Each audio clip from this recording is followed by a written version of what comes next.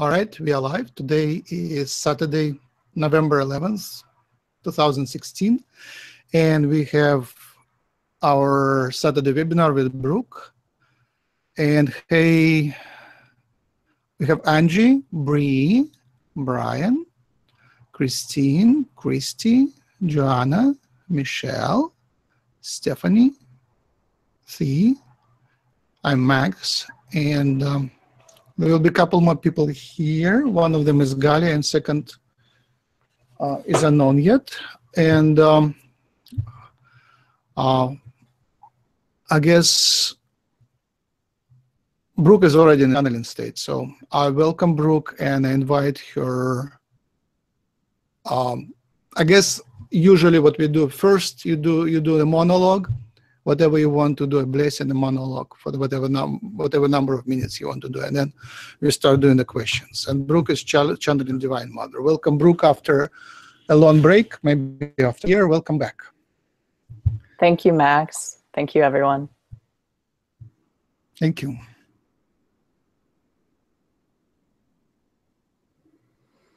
Hmm. So let's all collectively just take as many deep, deep inhales and exhales as we need to, to just get grounded in our bodies today.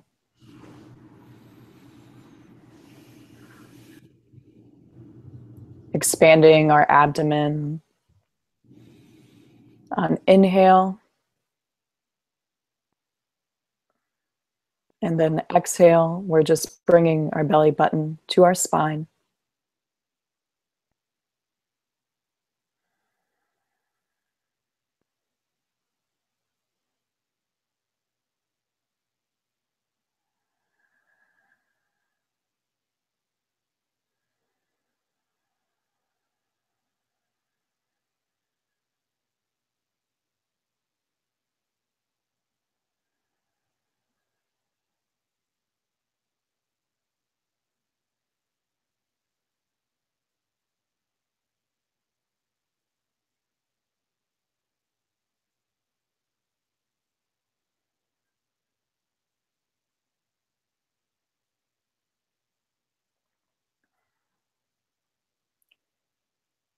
So we're just starting to feel into our body now. And this is a way for us to ground energy collectively in this group today and also in our personal lives. The breath is the divine, and the breath takes us back to our connection with the Great Mother.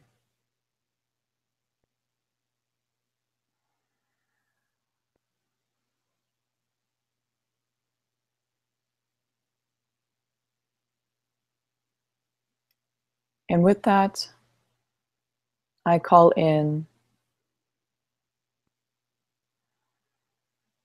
my highest level guides, guides, ancestors, divine feminine representations of the Mother, Mary Magdalene, Mother Mary, Sophia, Oshun, White Buffalo Calf Woman, Isis,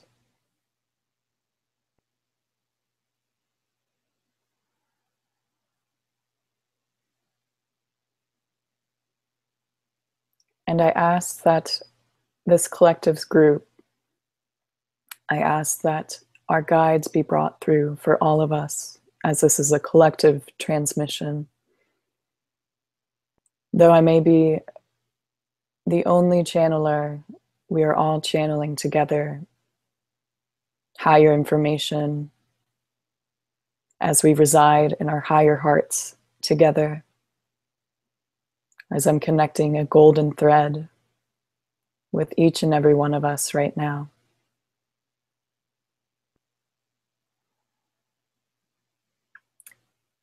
And now seeing that golden thread bringing us into a circle I'm seeing us surround a great grandmother oak tree in the middle of us. If you can see it in your third eye with me, please do.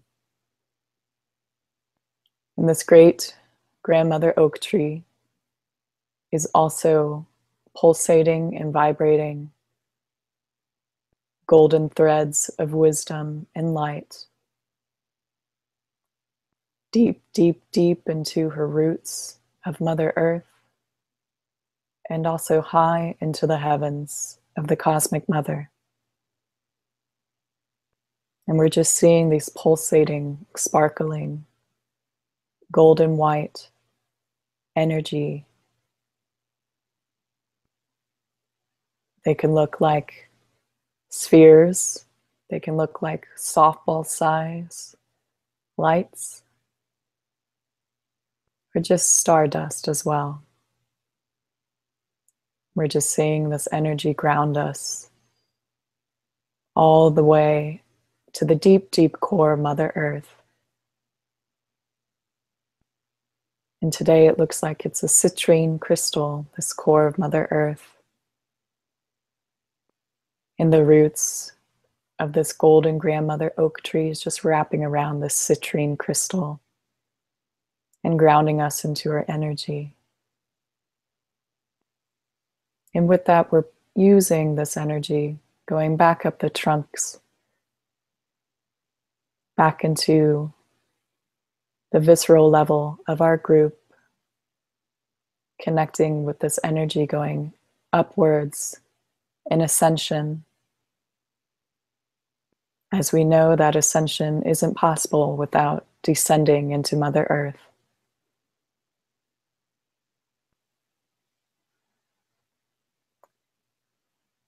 These golden white balls of energy are cascading out through the tops of this grandmother oak tree and connect, connecting with the great sun of the cosmic universe. Blessing each one of us today as we return into our hearts and back to our breath. Namaste.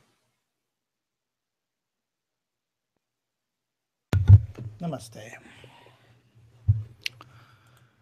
So, Brook, your video is not visible. You're turned off. If you can press the video on, that would be nicer.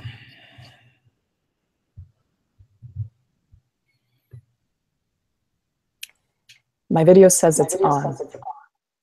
Hmm, turn it off and turn it on again. I can see you.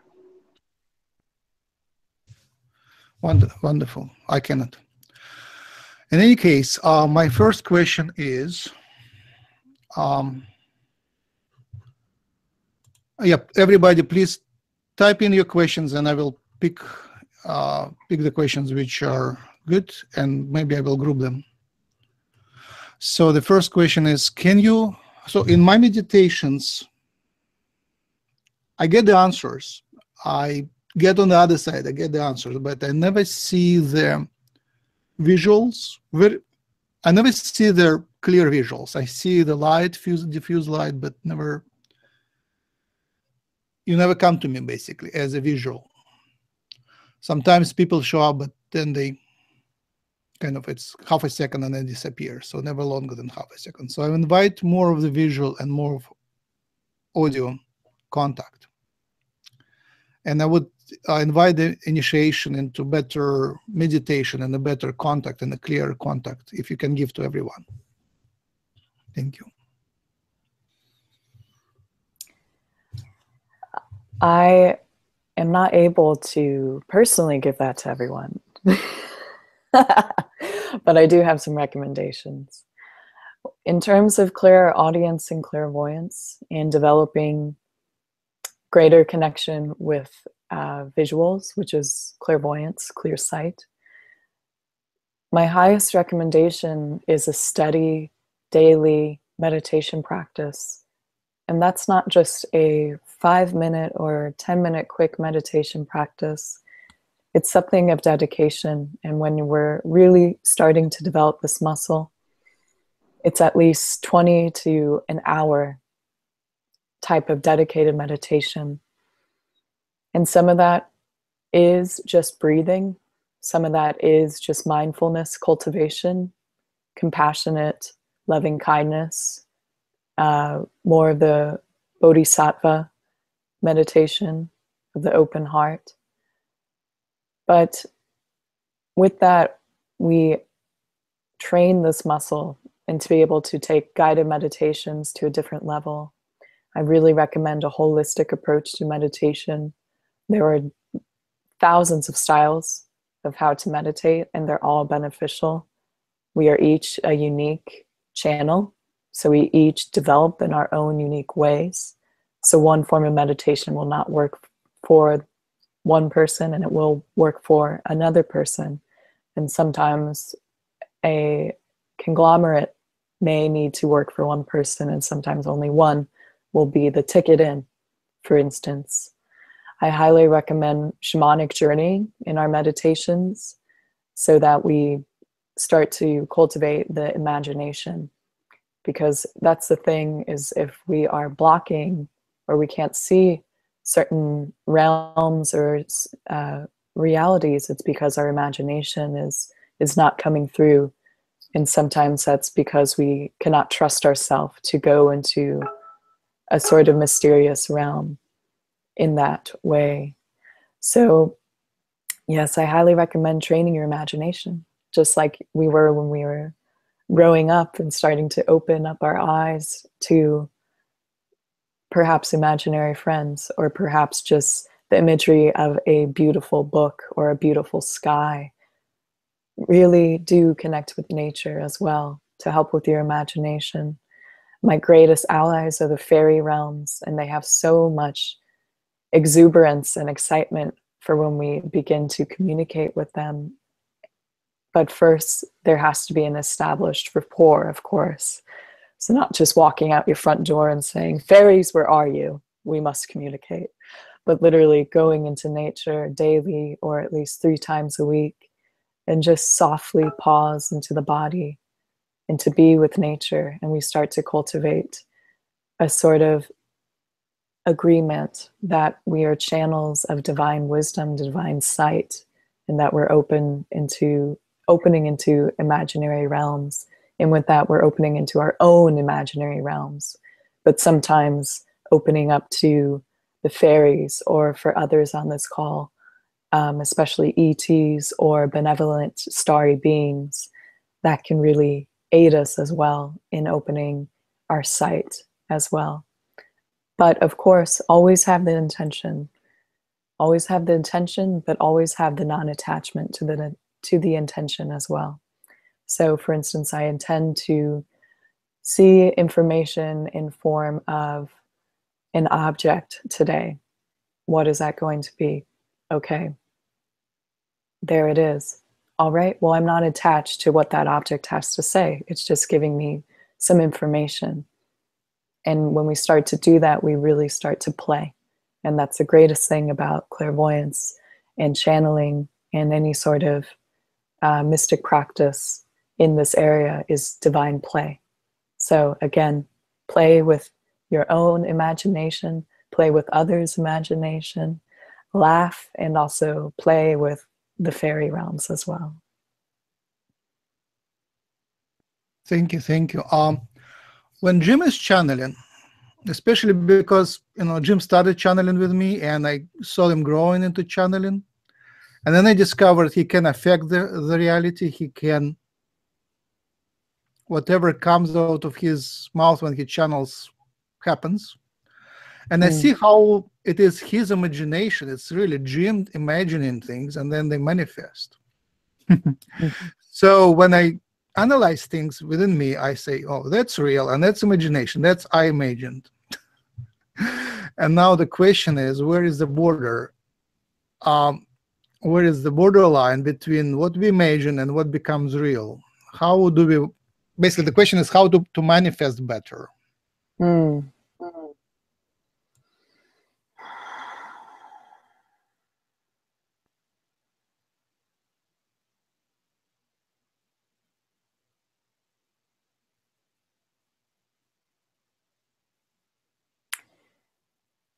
Look deep within.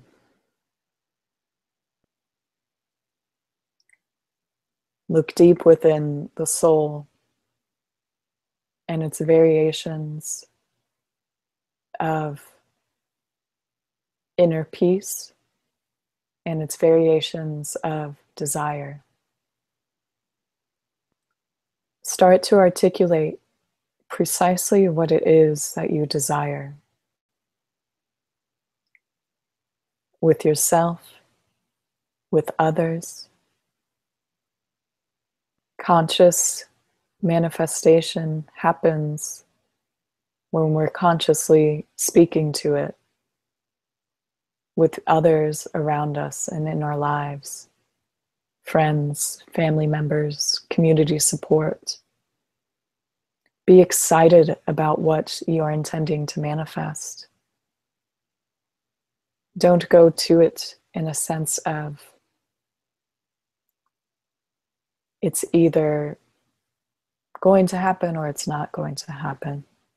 Take the duality out from it. An alchemist is non attached because they understand the non dual nature of reality. And these are greater lessons of the universe that we start to understand, particularly in the sense of, for instance, gender. What is the fluidity of gender? Are we really just masculine embodiments or feminine embodiments? In alchemy, there's something called the holy hermaphrodite or the third gender. And so, this awareness of non duality will be really helpful in manifesting. And along with that, there's something else coming through.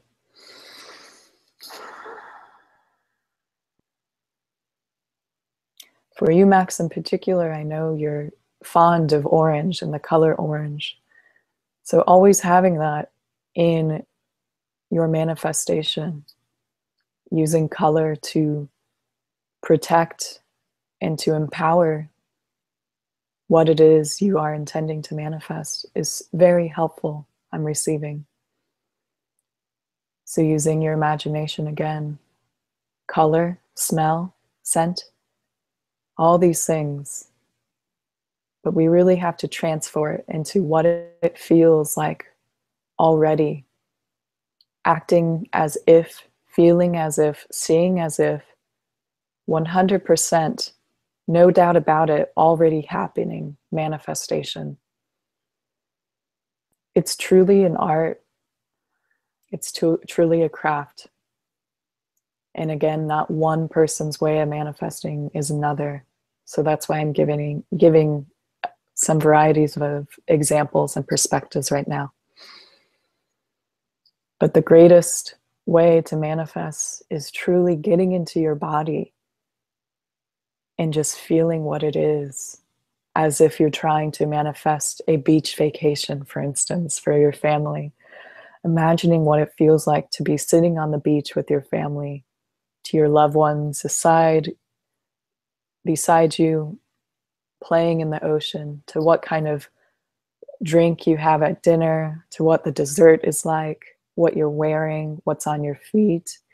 These are all ways that we are tapping in tapping to back into our more creative feminine nature as well. Not to say the masculine isn't creative, but there's a yin sort of feeling, a yin word feeling which is a more receptive attitude to manifestation, which is kind of the, the background of manifestation.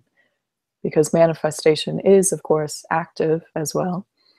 You're being very intentional.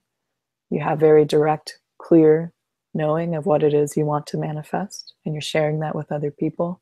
But there's this sort of artfulness and this sort of mysterious mystique about it that represents what I'm receiving now, the cosmic womb. So the womb being the dark vessel that we're all birthed from. It's very mysterious and it's very unpredictable at times. So, how can we bring spirit into form? Is what we need to be asking ourselves when we intend to manifest something of really holistic, potent caliber.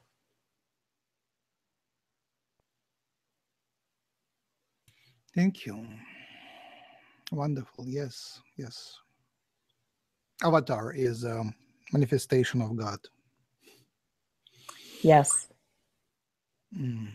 Um, so I will let um, Christine ask a question in a second. So we're taking questions here in, in chat in this window and also on uh, YouTube. Uh, on YouTube chat, type your questions and we'll, I will pick and choose. Um, Christine, go ahead with your question if you like. Yes, I'd like to know if um, if I'm able, if I'm doing better at protecting myself from taking on the energy of the people that I um, that I send healing to. I understand that I was holding it in and I was getting sick from it, and now I'm I'm hoping I'm doing better. Mm. How's your uh, body feeling, especially um, your muscles? I just got over a bad cold after four years of not getting any colds. So I'm, it's still stuck in my chest. I'm still coughing a lot. Mm-hmm. But um, after colds, I usually have a bad cough. So my my worry, my primary worry, is that I got um, breast cancer from uh, holding it in. And after going through a lot of healing with other people, they said, well, it's in your energetic field, it just hasn't made its way to your physical. So I'm hoping I'm doing better.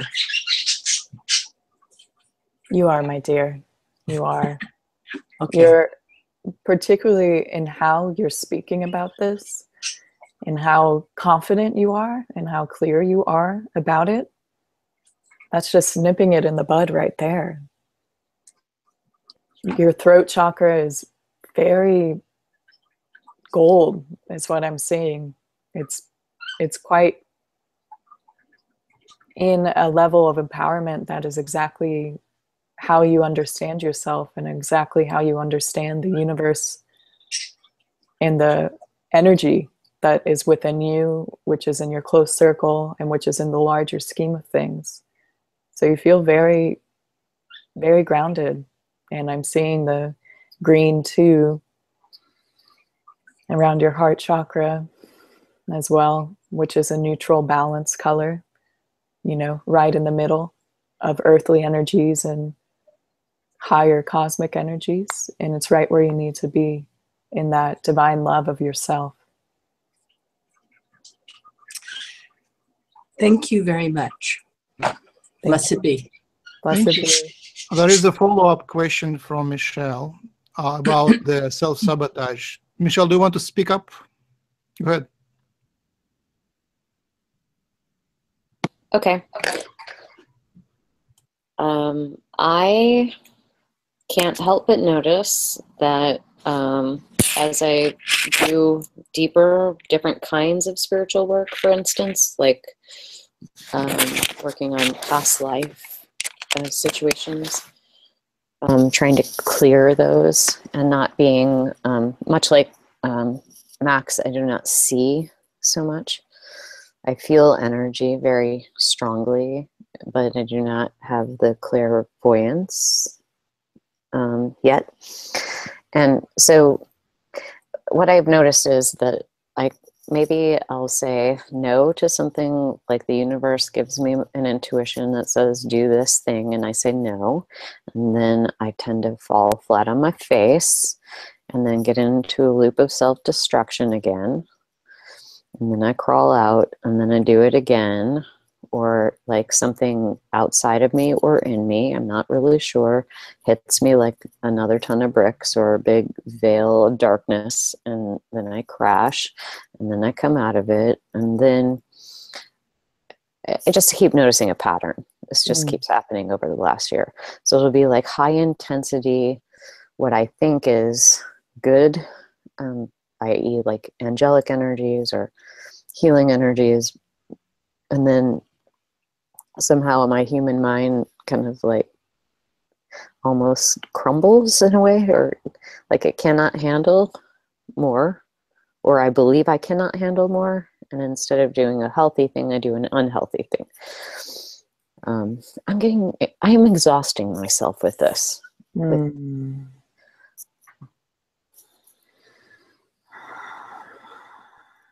I'll just take a nice cleansing inhale.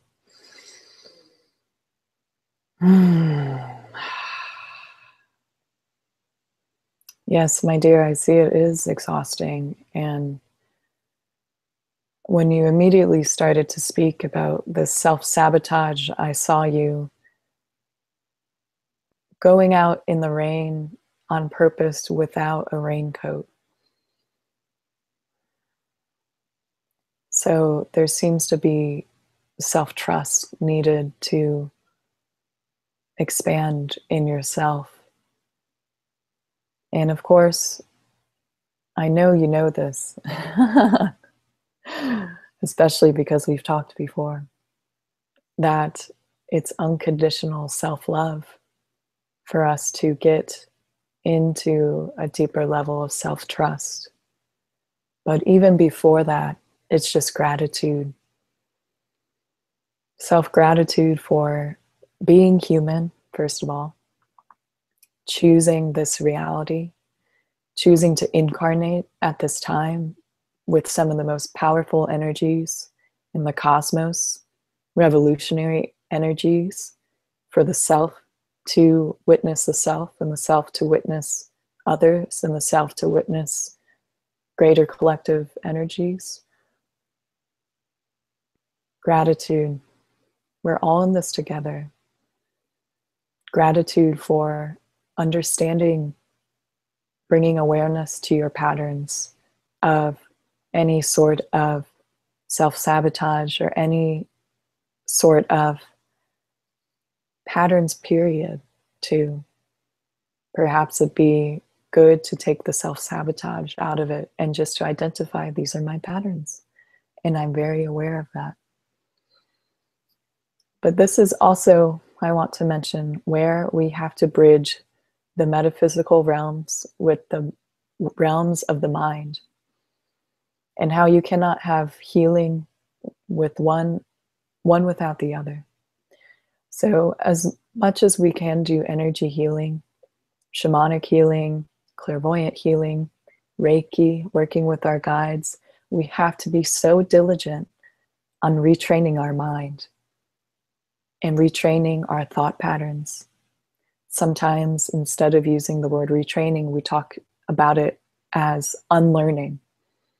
So, how can we unlearn patterns of the mind and patterns of the body? Where is there tension that needs to be relaxed?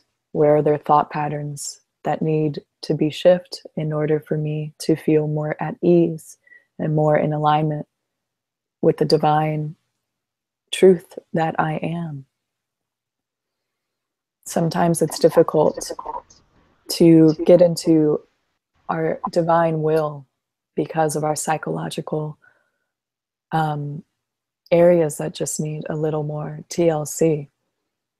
But they do, I highly recommend, need as much attention, if not more attention, than other forms of healing, other forms of, again, working with the different realms or any alternative holistic um, ways of healing. It goes hand in hand. They're very, very much comparable. So, with that, I highly recommend, dear, to go into inner child work and to go into where your inner child feels like she has to sabotage herself in order to survive, because that's the root of this issue. Is that it's a survival mechanism that's happening right now. Okay. Um, an addendum to that, since you mentioned that, also paying attention to the mind, it has been recommended by my daughter that I re go into therapy, which I've had decades of. Um, does that, I feel like, I don't know if that is necessary or a good idea. How does that resonate with you? I'm seeing that for you, my dear, that you need to explore some different types of therapy Mhm. and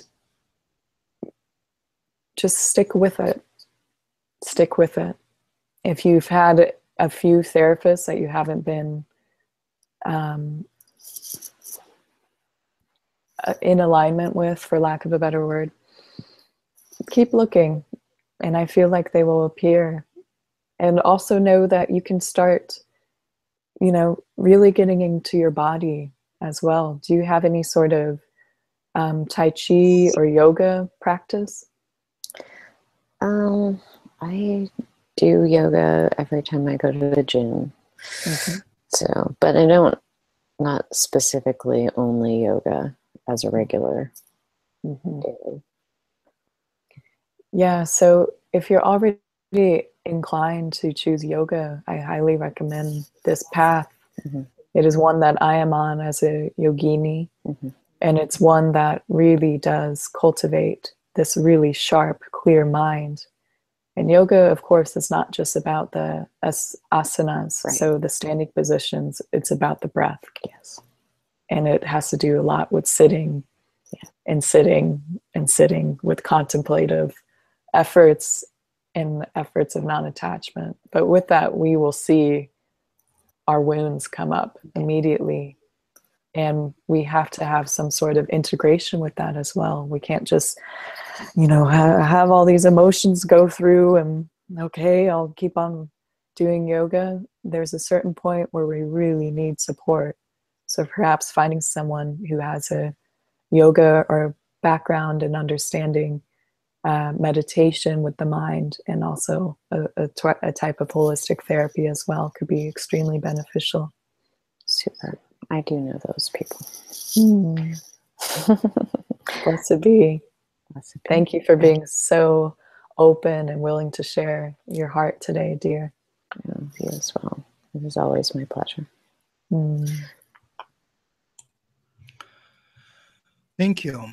So, Brook, um, the question I want to sound is the the one which is on everybody's mind. So, the history just turned sharp angle. Can you comment? Can the Divine Mother comment on? Uh, give us some guidance. What to expect? Where we are? Where where are we moving? Mm. What how what what what what um, emotional and mental directions can we use to adopt? I guess. Mm. Thank you. Thank you, Max. A very important question. Hmm.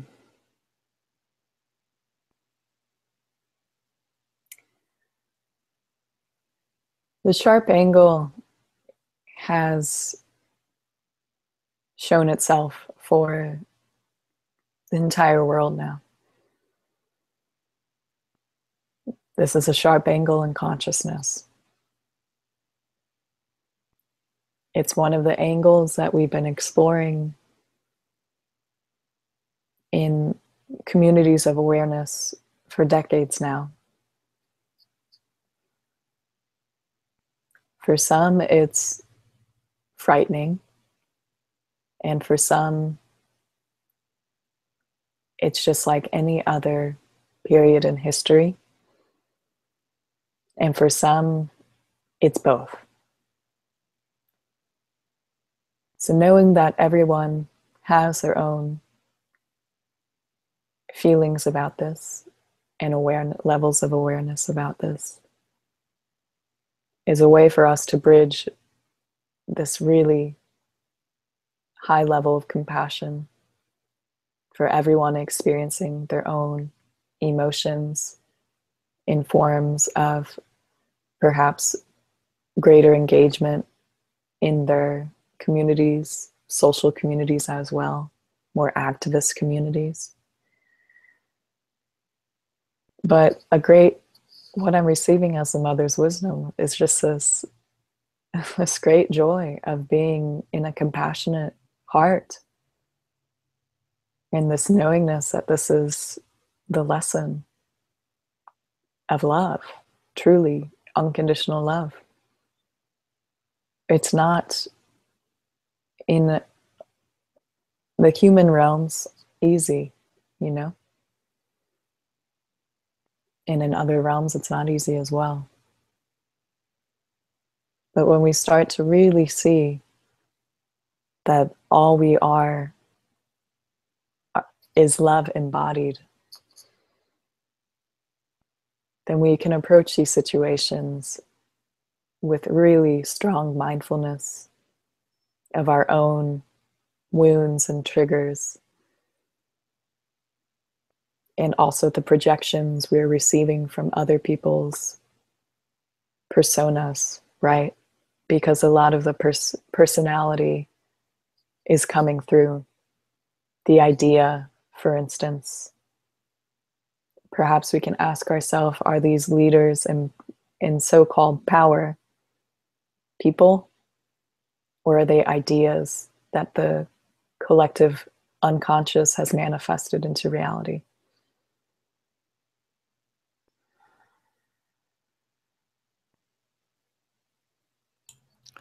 Uh, love, um, freedom. So basically, the polarization has changed. I have experienced that many years ago. I guess it was 1998 plus minus a couple years, where Russia went through polarization, huge polarization. Things just some demons, some demons were untied, left free.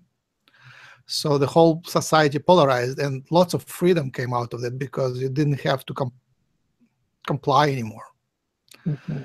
And love also comes out. The freedom comes out with polarization. Uh, American uh, had that in 60s, like 62 to 63 to 69, where the society polarized, and because things went in different directions, there is tons of opportunity for freedom, and there is energy which just is as a gift for love. So I invite any comments on the direction. Mm. Beautiful. Yeah. So for in order for us to to enter greater areas of love for ourself, for one another, and for others, there has to be a sort of identification of the shadow, right? So we can't just move on without identifying our fears. So, what is this about this great movement in the United States, for instance, with a new presidential elect, that's triggering fear in me. What is that that it's triggering fear in others? What is that that is triggering fear in most of the publications? What is it triggering fear in my children? Bringing awareness to our fears and bringing awareness to the subtleties of how that's being reacted, right? Because we're in a very reactive time if we're not conscious about it and we start to you know take larger leaps and larger impulses without that stillness of peace within so again a way to cultivate stillness and peace is bringing it back into the heart and bringing it back to the breath and bringing it back into affirm, affirmations of sovereignty from anyone outside of your divine higher self. So, sovereignty from any outside forces, sovereignty from anything that is of distraction, sovereignty from outside opinions, sovereignty for anything that is not your own conscious being. I would say, because freedom is not going to be what it or freedom, the freedom movements or the evolutionary, revolutionary uh, movements that are happening right now aren't going to look like what they have been in the past. They're going to look like something very, very different. And we're actually not quite sure what they're going to look like. And that also can trigger fear in us in the conscious community that we see this movement coming and we believe in it and we know it and we know that love is guiding guiding us all and connecting us all together but we still we don't know exactly what it looks like and that can really trigger fear in us too so just being bringing aware excuse me bringing awareness to that and that we are not in this by ourselves that we may be sovereign free in our own being in our own understanding in our own way of how we hold or, hold and carry ourselves but we're co-sovereign with other people it's a co-effort of sovereignty of the self if that makes sense Wonderful. Thank you. Uh, there is a nice question. Carolina just came up. Can you voice your question? Uh, yes, um, I was just asking, um, your Divine Mother, can you please um, tell us um, what Divine Mother is, please? beautiful Is it uh, the question was? Is it uh, Mother Mary or Mother Gaia or else? Yes, thank you. Thank you. She is everything. She is all spiritual religious icons of the feminine. She is the earth that we walk on. She is you, beloved, and she is me. She is everything. She is our children. The Divine Mother represents the goddess, and she represents thousands and thousands, millions and millions of people and persons, of energies in particular. But the way that our human mind can understand it is through, yes, religious icons, and yes, our own mothers, and yes, how we mother ourselves within. But she's beyond that energy.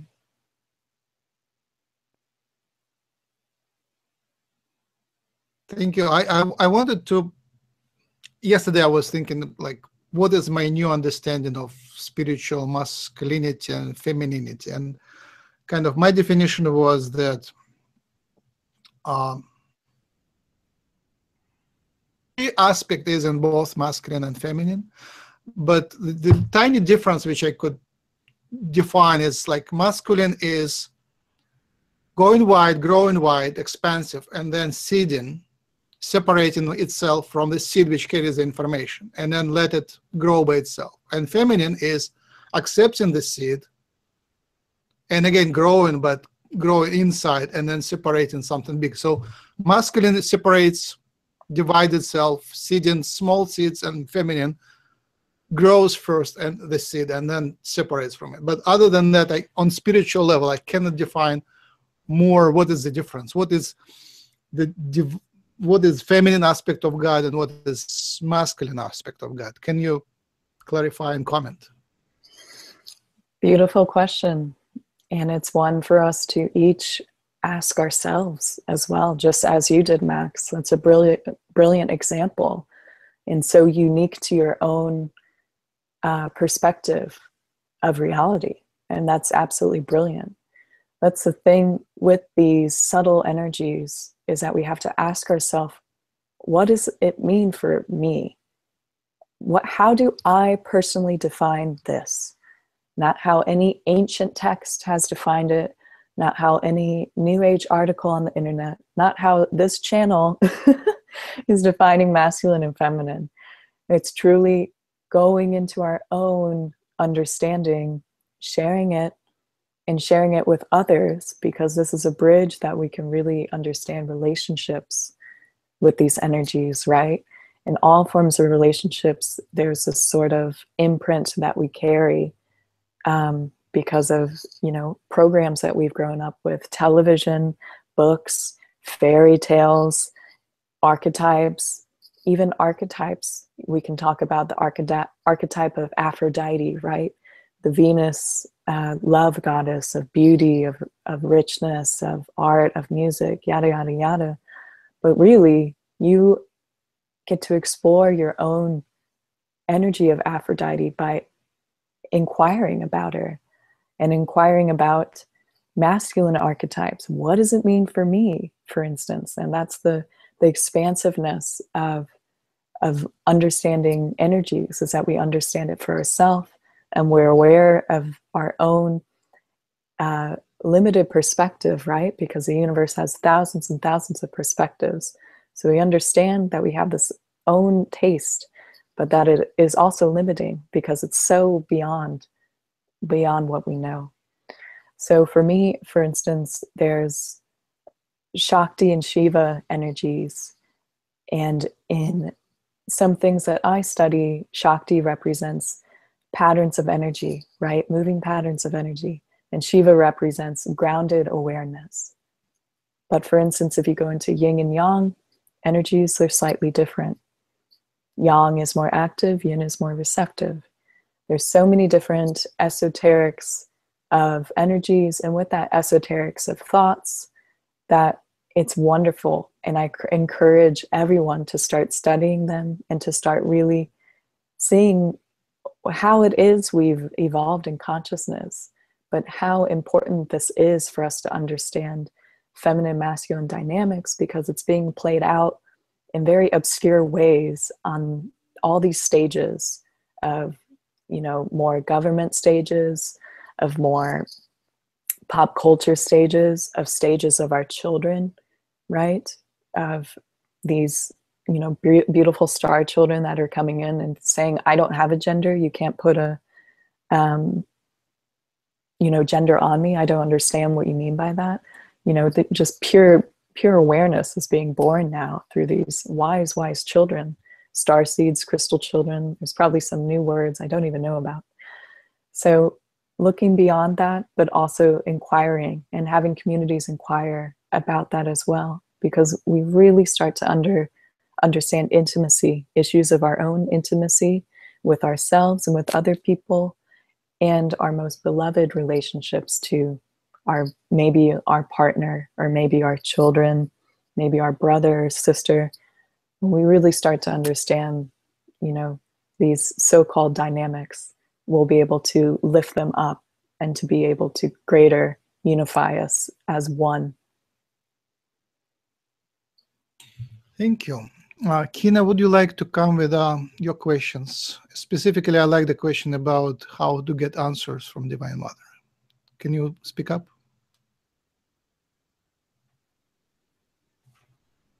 Read it. Uh, so basically, Kina uh, asks, um, uh, are there any other techniques like pendulum cards, um, smooth and log that obtain responses from from Divine Mother?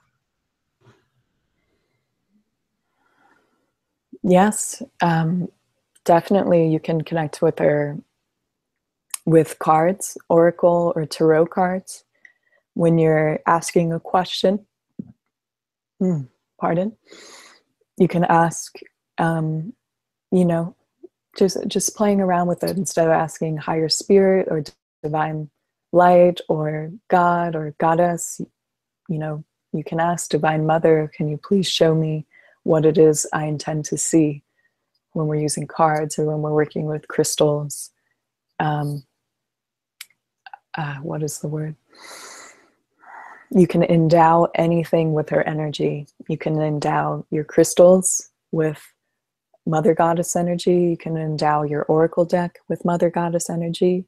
It's just that consciousness and awareness crafting around that, right? A lot about a lot of magic is crafting, and a lot of it is complete belief as well too and a lot of it is play it's divine play so approaching it you know very playfully with with her energy in anything that you do i mean when i drive my car i know it's protected by the divine mother for instance um, and know that you can cultivate that own divine channel as well because when i'm channeling the divine mother right now it's essentially my higher goddess self so they're the same thing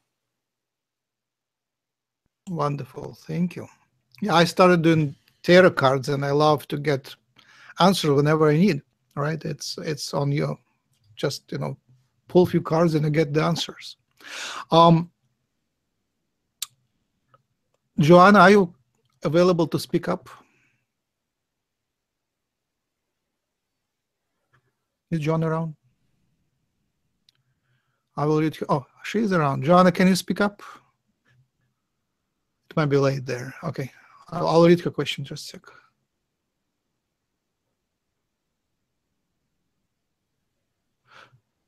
The questions jump. Okay. Um, I'm in a process, she says, I'm in a process of learning galactic languages. I have received a message that I am two thirds of the way. And Joanna is wonderful. Brook, can you comment, give some message to Joanna? she's um, starting to uh, learn galactic languages and she wonders and she, she was said she's two-thirds of the way basically the question is galactic languages. Oh. Well ingoi koya laiki eo e kui koya lamo. E jikai lohi ki, e moki lohi, yai ko e ala poki, i ne ko ki ko, yuna ni kari ko, ni kai e ala, e ja uma i kui, e la ai kui e li a ai ulo, e a kui ala i kui, e i kai ala, a mo i ai ki, i kui la, e mo ia, i jo. Well, my dear, welcome and, and please keep speaking. We're so here to support you in your in your divine galactic language and we just encourage you to speak it more and more.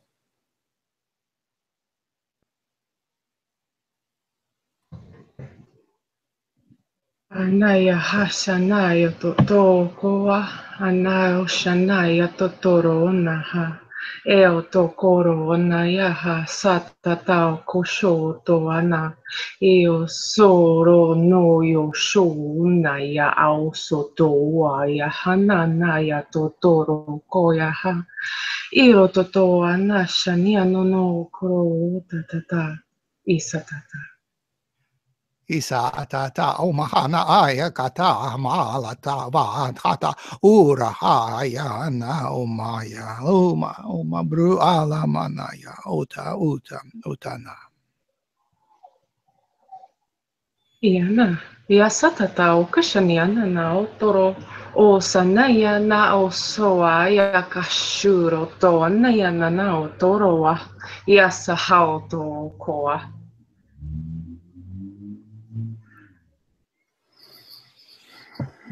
Now, Brook, it's up to you to translate.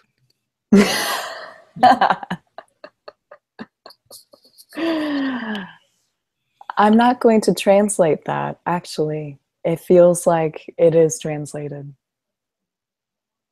All right. Um, Bree asked wonderful question about men. Can you voice it up in English? In English, sure, I can do that. Yeah, um, I've been hearing a lot of information in regards to water, the element of water, um, carrying the divine feminine energies, being the divine feminine life source. And so, my question is in relation to that um, how may we use, how can we better use water and intentional water healing to rebalance the divine feminine energies on earth and for ourselves? Mm. Excellent question, my dear. Thank you so much for that. yes, water is life, water is sacred. If we aren't all familiar with, which I think we are familiar with the um, No Dakota Access Pipeline happening in North Dakota at Sacred Stone Camp, please do tune into that. There's been recent um, news in the uh, Obama administration moving into awareness to what it means for First Nations people and indigenous tribes all over the planet, not just in the United States, to have and to be one with sacred waters again. But in terms of our cultivation with water, um, anything goes, right? so, what I like to use when you're asking that question, my dear, I saw a variety of chapters. So, what I like to always use is water on my altar, and I like it to be blessed by myself and connecting with um, Divine Mother energies. I use some essential oils, especially rose, for instance, and I put it in the water so it has this sort of um, endowed energy as well. I highly recommend getting a water purification, filtration, alk- alkalizer, excuse me, whichever one that you feel called to, to only be drinking the purest form of water, because that is our birthright, is to have pure water. And so much of the water that we've consumed, at least speaking from me in this body of living growing up in Missouri was tap water. And the amount of fluoride in water and the amount of fluoride in so many bottled water companies is just absurd. So really start to be, you know, a more conscious consumer when you're buying water at any place and demand that your water be the highest vibration and ask for that to be in your space at all times. We can also do water blessings with the sacred waters outside in nature. So, going into any creeks, rivers, oceans, lakes, and meditating besides them, perhaps meditating with our hand in the water just briefly and then blessing ourselves, a sort of cleansing purification. If you have access to any sort of um, spa with hot tubs or cold plunges or cold pools. Or if you're traveling, for instance, to a different place, look for that so you can connect with water as you're traveling or as you're just healing your body. Water is one of the most healing and perhaps is the most healing energy and element that we have that we are aware of here on planet Earth, at least.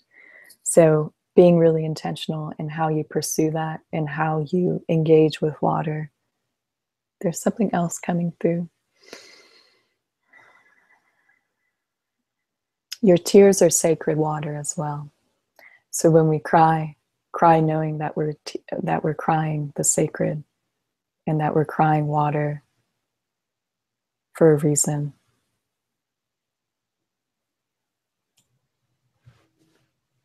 Um, when you were started asking the question, I was making uh, pouring the water in, in a cup.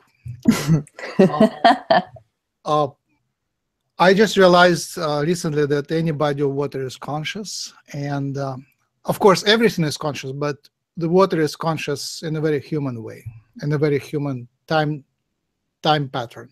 Yes. Um, Brook, you were asking the question about men and uh, feminine. Can you voice it out? Voice it up.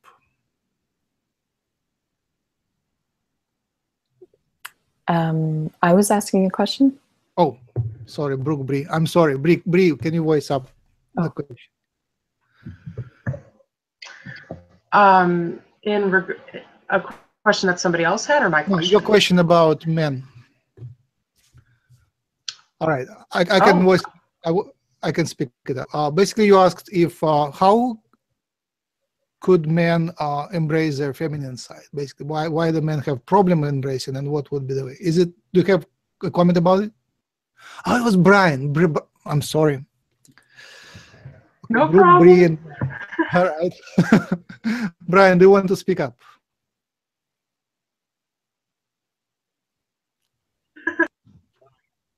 Yay. Hi, Brian.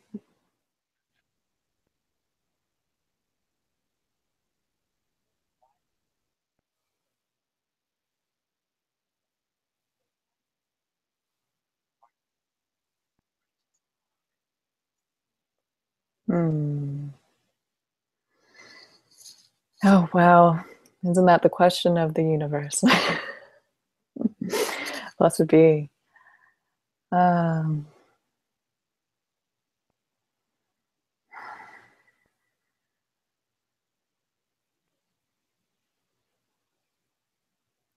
I'm seeing that this has to do with the mother wound that we all carry deeply. The mother wound, if you're not familiar, is the wound that we are often born into this reality with because of our disconnection with Mother Nature, our disconnection with our bodies, and our disconnection perhaps with our own mothers, and our disconnection with the mother archetype in general. And that is a deep, deep wound of the universe, is how the masculine men who identify are to embrace this energy that was never there for many to begin with. It's, it feels foreign for many, is what I'm receiving. And that foreign triggers fear and it triggers, you know, resentment and confusion. Deep, deep confusion of the self is going on in a lot of men right now. Nurturance is not what we know it to be in a lot of realities in this world, unfortunately. But that is changing and evolving. And how I'm seeing you, Brian, being your conscious divine male self is being that sort of figure for other men in your life to go to for support, nurturance, an open, listening heart, non judgmental presence, and for un- unconditional love. You carry that, my dear. It's a jewel. So I encourage you to bring that into your relationships with other men, any sort of male relationship, right? Not just the, the spiritual male, but any sort of how can I be more nurturing? How can I be present in my own tenderness, in my own deep vulnerability with others? And that way, we really will start having revolutionary energies when our men can really hold that tender space for other men.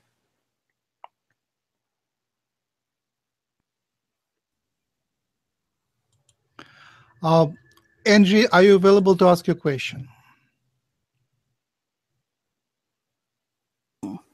Yes, I am.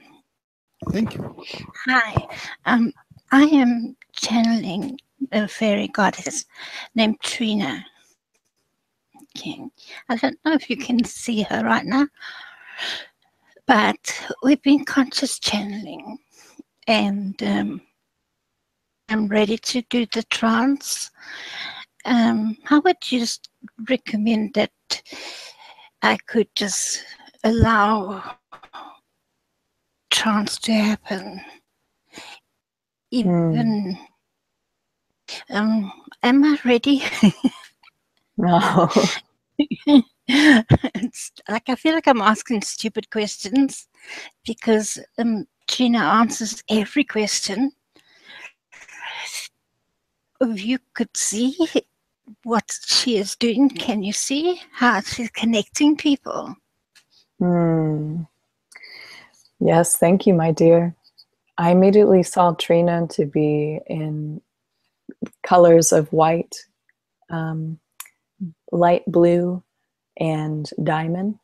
Those side, those side of, excuse me, those sort of crystal shades. And I'm seeing that she's a protector fairy for you, and that she she is your your main companion and she loves you so much. Oh my goodness. she just adores you. Oh, she mm-hmm. adores you beyond. Oh, it is so sweet, this relationship. I know, right? oh, I see her help helping you when you when you do your hair, when you paint your fingernails. She's just there adoring you and, yeah. and just oh my gosh.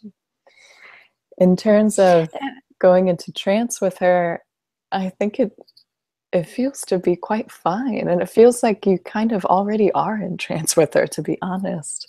What I'm receiving I is so. is Yeah. is that it may not even be necessary for you. So there there really is no other you know trance. I'm feeling the message for you my dear is no other special tool that you don't already know how to do or already have inside of you. You already Exactly. you already have a a very clear blown up channel. Um, Mhm. so you're already there my dear. You totally are, are already there. But if you do decide to maybe experiment with just meditation for longer periods of time um, Mhm. just ask for grounding energies so either grounding your room with a tree energy or just grounding in you know walking barefoot outside before you go into trance just really bring that in because i'm seeing that you're susceptible to going kind of far out there and it might be difficult for you to come back Yep. yeah. So always stay in your what I recommend is to always stay in your body. You know, always stay present with your lower chakras, just Mhm.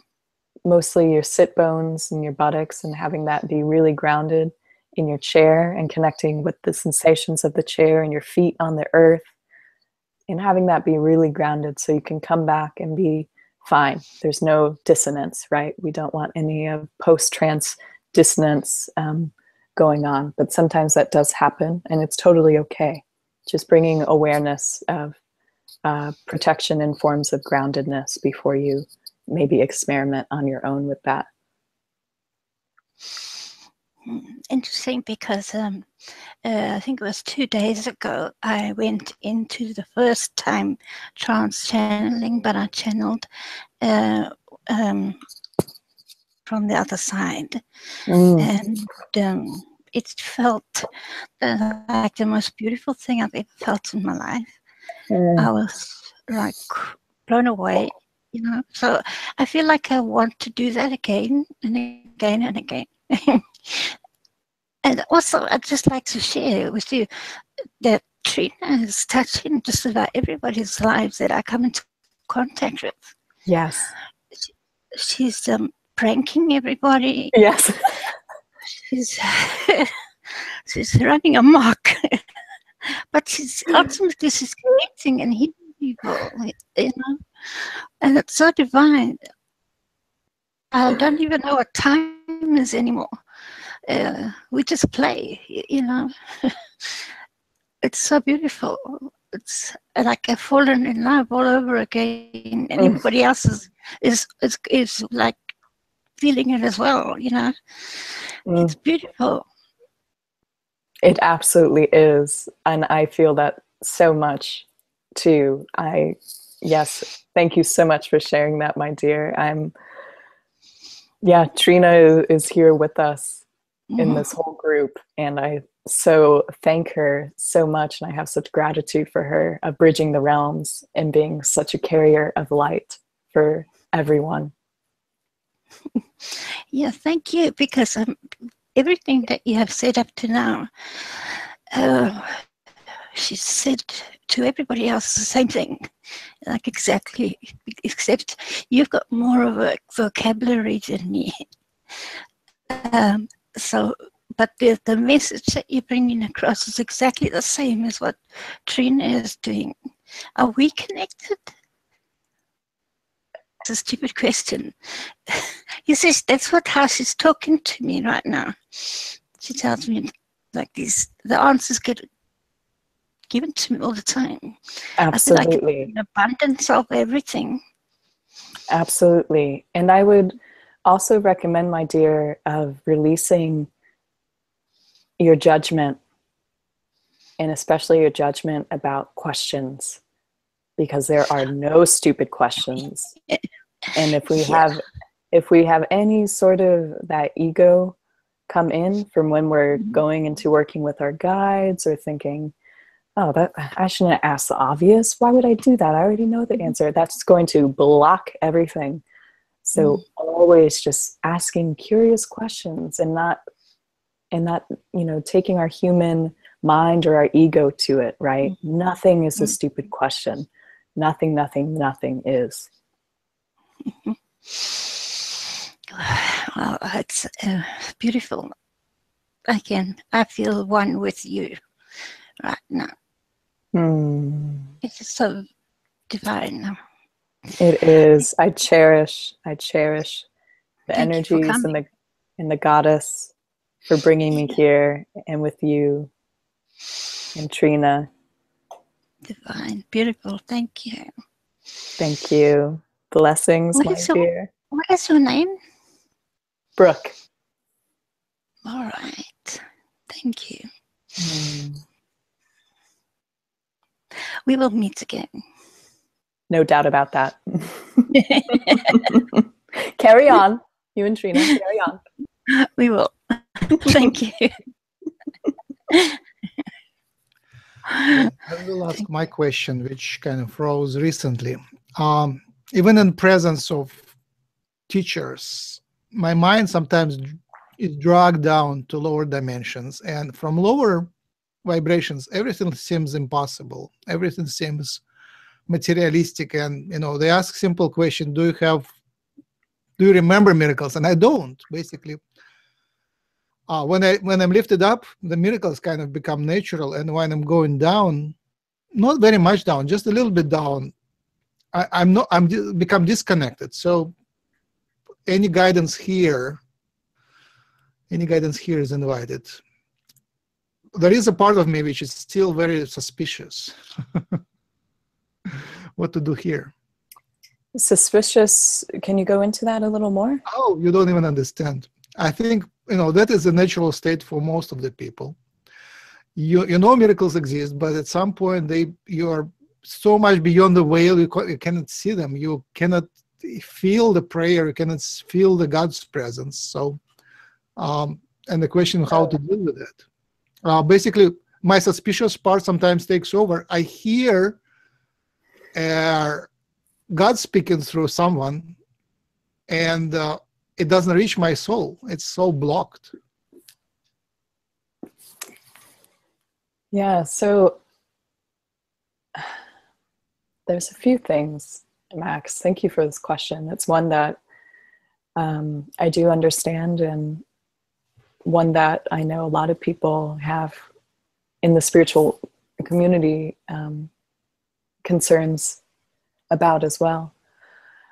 But I would ask us all to discern and understand what is spirituality and what are miracles exactly.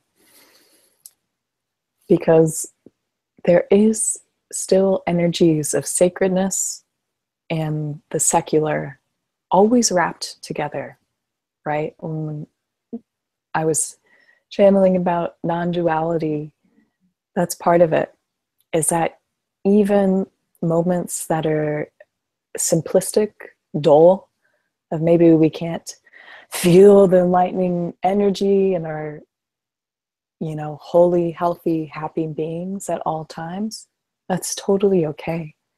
That's totally okay. You are still a divine human perfect being in light and in the arms of, div- of the divine mother.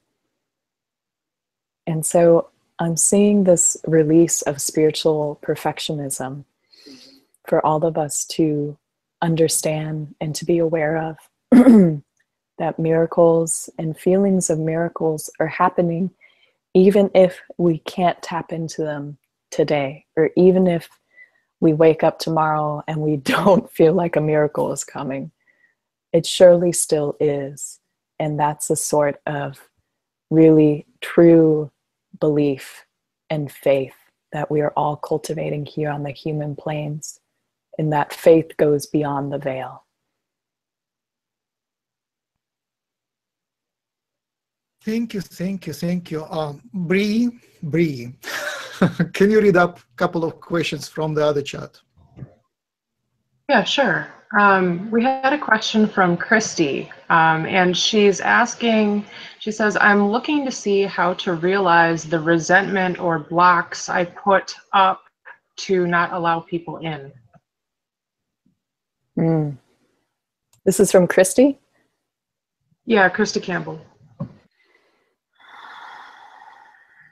Okay, let me look in here.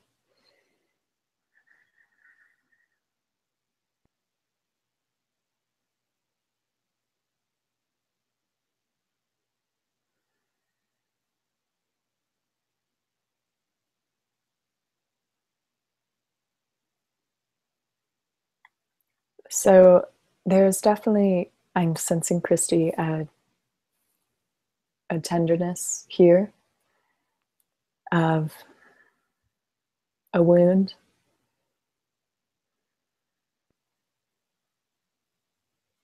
Of being in this life, um, sort of rogue. And that rogue mission that you were given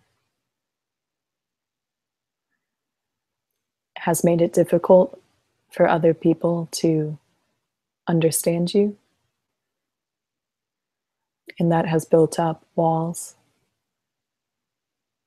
and what is now looking like resentment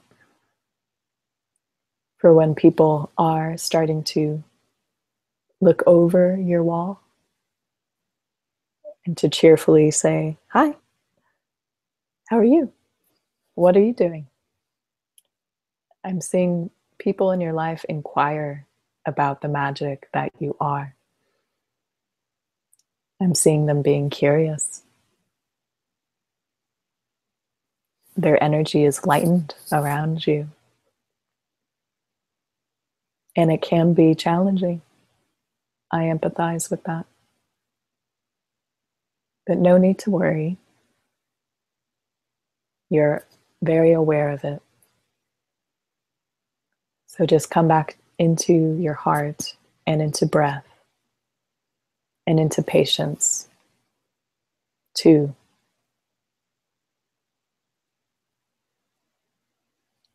Love is patience here. And I'm seeing that self love is a great teacher for you in patience with yourself and for other people who are starting to slowly and happily and magically infiltrate your beautiful life.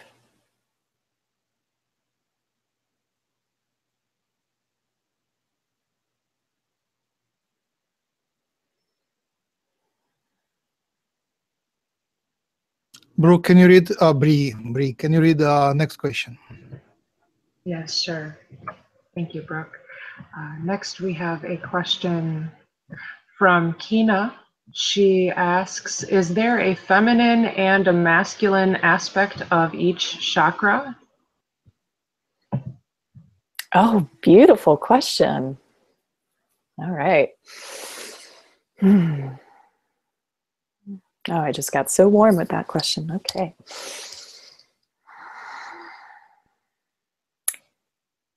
Yes, because the chakras contain all the information of the universe and our realities. They all contain masculine and feminine energies. Yes, they do.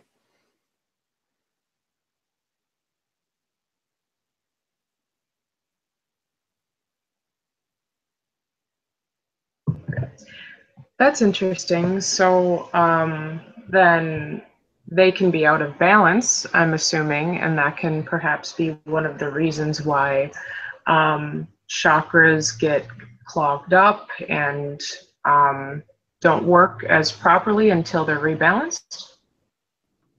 Absolutely, absolutely. hmm Yes, this is this is a brilliant question, and this is a different level of energy medicine. I feel like that is that really needs to be explored. So I really encourage you, uh, my dear, to explore that. Yeah, okay, yeah, this is pretty huge because now Mhm. I'm relating this to the chakra points of the earth and Mhm. the chakra points of the solar system. Um, and how it's all interconnected and how it all stems from within us individually as we are creating it from the prisms within us. um, so, may I link this back to water then and intention? Mm. So, perhaps putting intention into water you ingest, um, intending for the water as you drink it to rebalance the feminine and masculine energies of your body, which then helps rebalance the energies of the earth and so on. Oh, Hall- wonderful. Hallelujah. Absolutely, my dear. Yes, this is such a profound example of the holographic universe. Great, jo- a great job. and it's fun too. You can make it fun. Um, then actually, I would like to take this a step further. I know we only have a few minutes left, um, but if you could maybe help expand this to the next step, maybe using crystals, crystal companions, um, as assistance for this. So. Would you recommend certain crystals that we may use in this process of rebalancing these energies um, and with water as well. Hmm. This channel is not too familiar with the crystal people. I love you. I love you. Not too familiar. this is clear quartz and this is uh, Celestine. In terms of your question, though, I'm feeling start with the quartz family, especially, especially clear quartz. Um, things that are only source energy, I feel like. Don't go into any energies that already have a lot of um, stories, right? Metaphysical stories about them. Go into pure essence crystals. So I'm seeing clear quartz, um, selenite, for instance. Um, even I think Herkimer crystals are pure source energy as well. Thank you. Um, Brooke, now is it is 9:28 um, Pacific time. Uh, whenever you want to finish, um, I I, I suggest go ahead with the blessings and um, take it from here, and then you you have an appointment at 10, right? So so plan I your time. do. Yeah, so I have about uh, 15 minutes or so, definitely. Wonderful. Uh, one one question before before the before the blessings is um, Kina asks, um, and I, just a second, Kina, Kina, Kina. Uh, basically, when the divine energy, okay, uh, why sometimes when we feel holy energy, why it hurts? Hmm. I'm sensing that it's because it's initiation to awakening. That's why it hurts. And that's totally okay. I have hurt from holy experiences.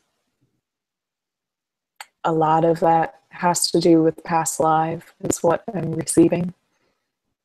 And a lot of it has to do with coming in to your fully embodied self as well.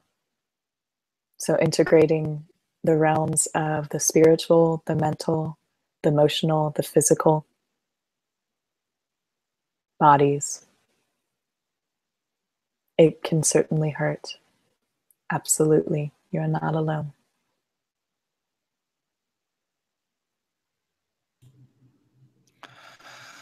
Thank you. Um, we do have thousand more questions, uh, but I don't want to start the big new topics. Uh, so I suggest you go for, take it from here as a monologue, and if anybody wants to follow after Brooke and give your blessings, that would be fine. And after that, I go channel. So I will take a break, and then I will go channel after that. So now, Brooke, it's your microphone. So just so I'm clear, Max, this is just a general channeling for me to do, including a blessing. Whatever you want to do with your time. Uh, uh, because we have tons more questions, but I just suggest you do a blessing and whatever you want to do. Beautiful. Great. Thank you for being a wonderful facilitator today, Max. My pleasure.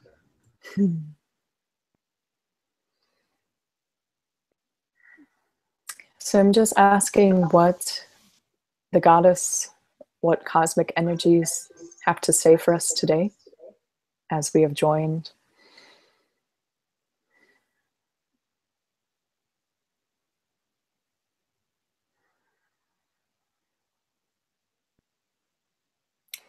I'm seeing the violet flame come in.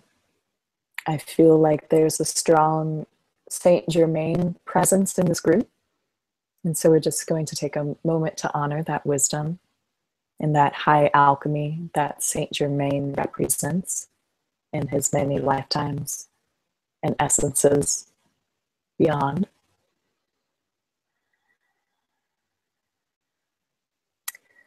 I'm seeing too that he is sharing his healing energy today. And he's upgrading our chakras together collectively.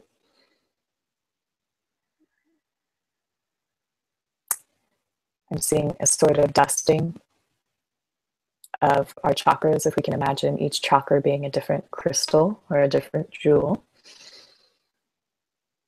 And we're seeing this divine force, this violet flame. Just go to each chakra and just clean it up, just brush it up.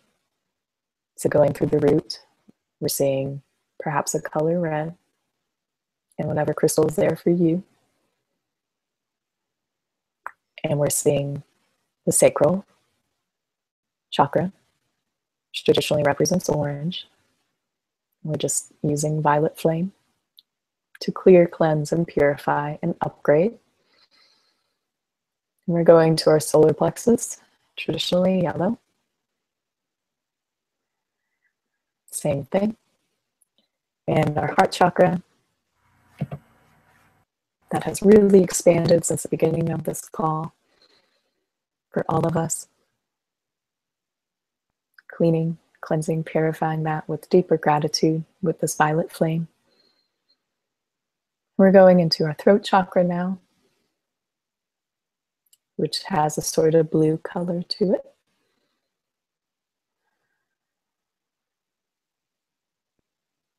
And I'm being guided to remind us of the back of our throat chakra and to just look at the back of our chakras always. It's not just the front of our body. Each chakra is a multidimensional portal for wisdom and knowledge and also energy healing. And we're going into our third eye in indigo color. And we're just cleansing and purifying again our third eye and upgrading it into higher wisdom and love and we're going to our crown chakra. And it is vibrating with holy divine light. And it's cascading all through our entire chakra systems and beyond into our higher chakras, our 8th, 9th, 10th, 11th, 12th. And we're opening up into miraculous healing.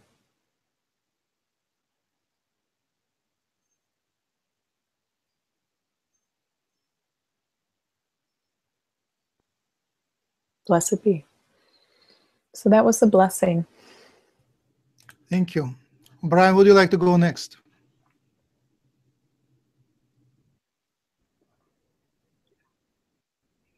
Yes.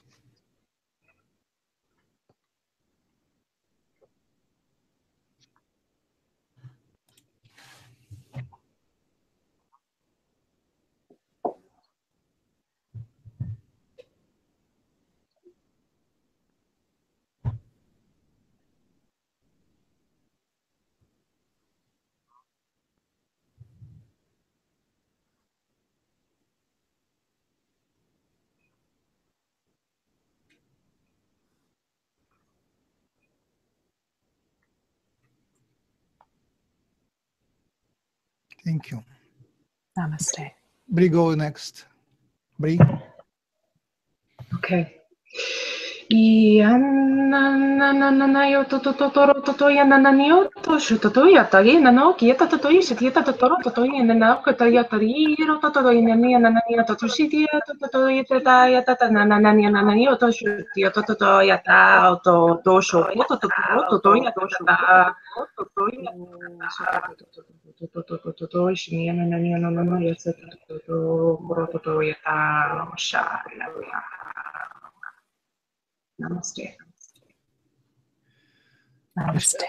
Michelle, namaste.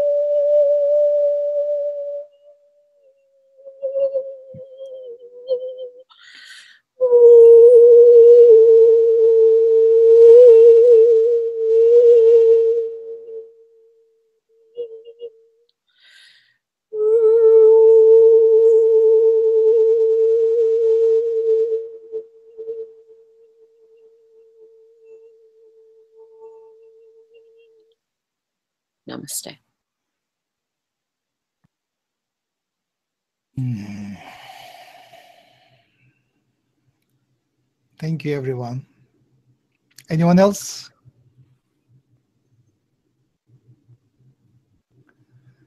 Okay, this is all. Thank you, everyone. Thank you, Brook. Thank you, everyone. Thank you, Brook. Thank you. I have one. I have a comment to make, if that's okay. Yes.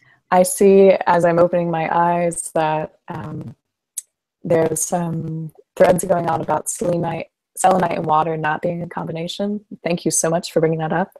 Again, um, always check, uh, confirm with your other information systems, either your own higher wisdom, or perhaps you want to check with a an official resource book of any information that a channel brings through, I highly recommend you ask yourself and to receive yourself is that the higher information for me to receive for this day.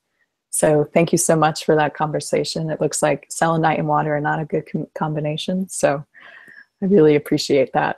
Uh, using our higher wisdom to come to more conclusive evidences.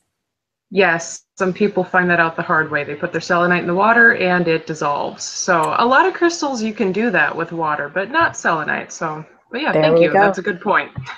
There we go. Goes. Is it right spelling of your site? Yes. Mhm. Okay, so um, do you offer private sessions? Yes, absolutely. Yes, just contact me. Um, they're at $100 right now. And you can also follow me on Facebook. My last name is Underwood. So it's just Brook Alyssum Underwood.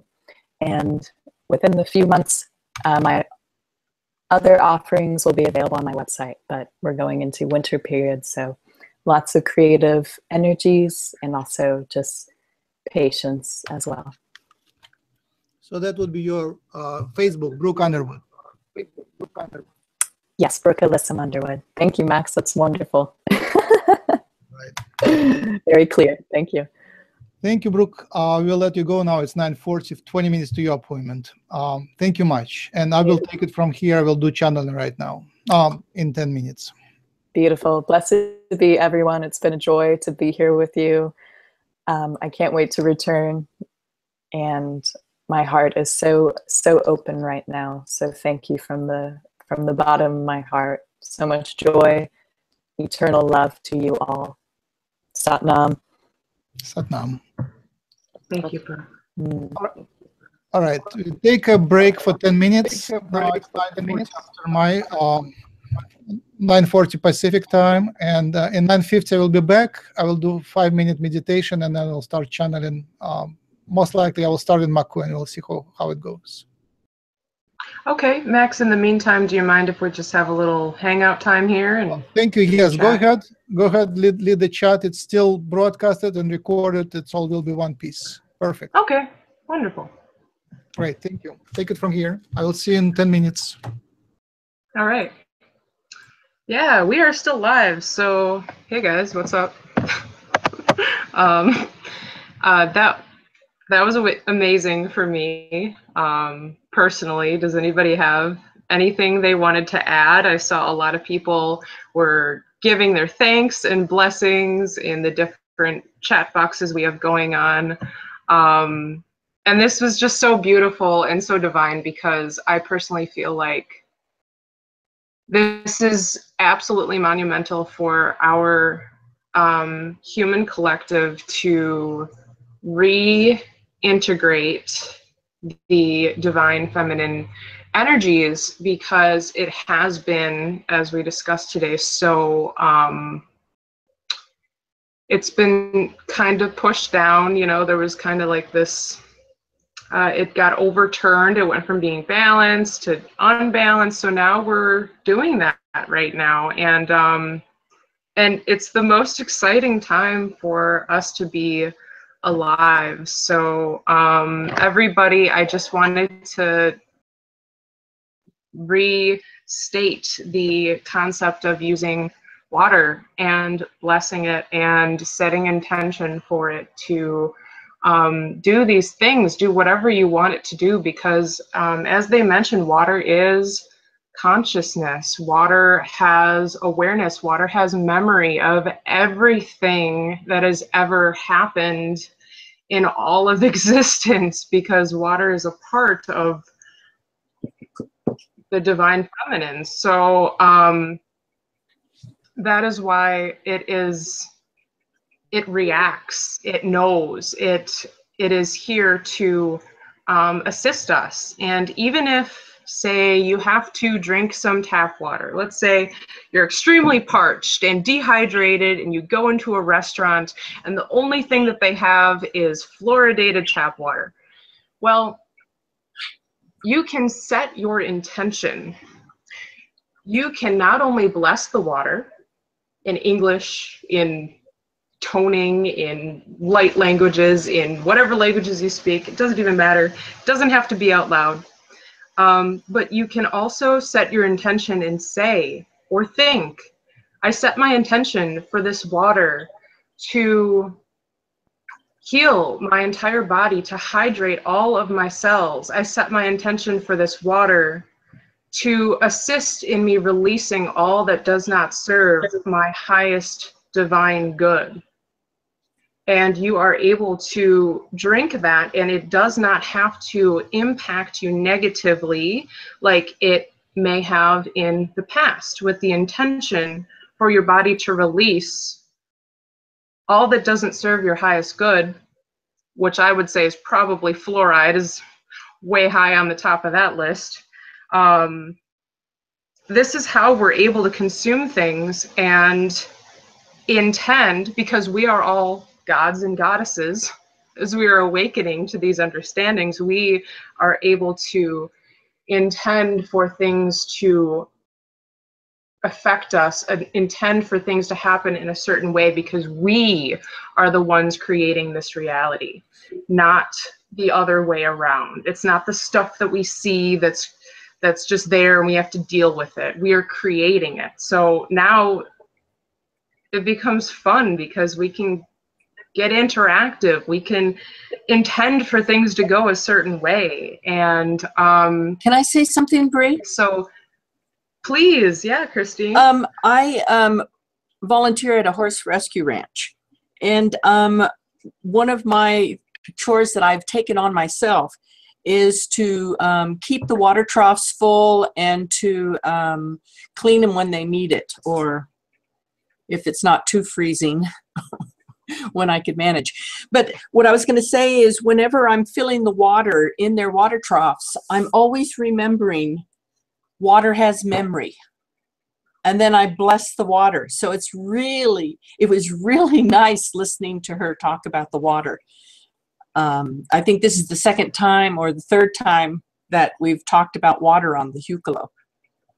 Yes, and yes. I I hope that we continue to bring it up because it is so monumental. The um, what's happened to the water on this planet is it's okay. It's okay because again, we can stick with that neutrality now that we understand that we're in this illusion of polarity and illusion of um, well, everything, but illusion of polarity and and so it's okay that the water has not been, say, the purest, because now we can intend for it to become pure again. Um, we can intend for our world to have uh, fresh, clean water and food and air, and will be the case because this is a co-creation. So um, I'm really happy you brought that up, Christine, because I know that that makes a huge impact on the horses you take care of because it, it's it's just so beautiful. So the same goes for pets we have or you know for our families. Even if everyone in our family isn't sitting there blessing everything um, that doesn't matter. If even if you just intend you don't have to actively sit there and okay here i go i'm sending this energy. You just you just simply intend. And so it is.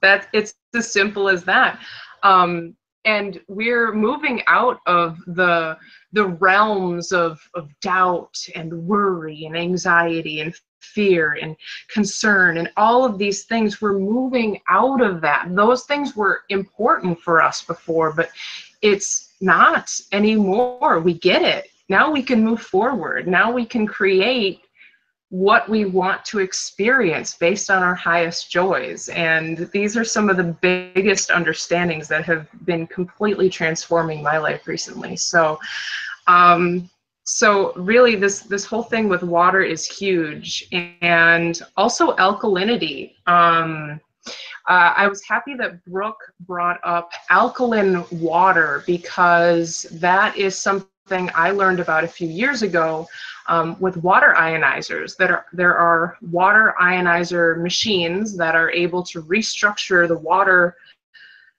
so that it is either alkaline or acidic um, or neutral and um, pH level, I mean. And um, so there's, of course, you have to be cautious and you can't like over uh, alkalinize your body because it's not supposed to be. But one thing that was huge for me to understand is the fact that disease, dis-ease, cannot thrive in an alkaline environment. It's only able to grow in acidity. So for those who have um, you know they're they just found out they have cancer or they have some debilitating uh, disease or ailment or something. I i have been finding that alkalinizing the body safely is absolutely huge in changing from dis-ease to ease there's so many things we can talk about with this obviously but i'm specifically focusing on water right now and, and intention. So um, I'm blessed enough to um, have parents that have a water ionizing machine, and I know that um, you can't overdo it because, again, it's not healthy, but it makes such a difference. My parents have healed so substantially from drinking alkaline water. And so um, that is something that everybody can look into. I just wanted to point that out that if you're able to get some alkaline water, and it also stays alkaline only for a while, there's a certain period, and then it starts to kind of just go back to like regular, clean, fresh water. Um, but yeah, that's and and also alkaline diets. While I'm on the topic, making your diet more alkaline, choosing foods yep. that are more alkaline is absolutely beneficial. Also, mm-hmm. welcome back, Max. Hello. Мы начинаем broadcast. Mm-hmm. Uh, we are starting the broadcast. So I will channel Makku. Bru will uh, medi- me- uh, moderate. And uh, yes we'll change in the vibration. Right now, I need like three, four minutes of silence. Uh, you can mute yourself and go make yourself a coffee, and I will meditate. And then um, I'll bring um, Makku with general question. Yes. Uh, next to the right is Galia. And to the left, can you introduce yourself? Uh, Ella, hello. Nice to meet you. Hello. And Natalia, э, she wants to be invisible. In inaudible. All right, so I will start my meditation. Um, and if there are uh, questions for the aliens, I will bring them uh, in Nina and she will do the alien part. Um, uh, Makku is more about other things. Okay, wonderful. Thank you. All right, so I, I go. Bye.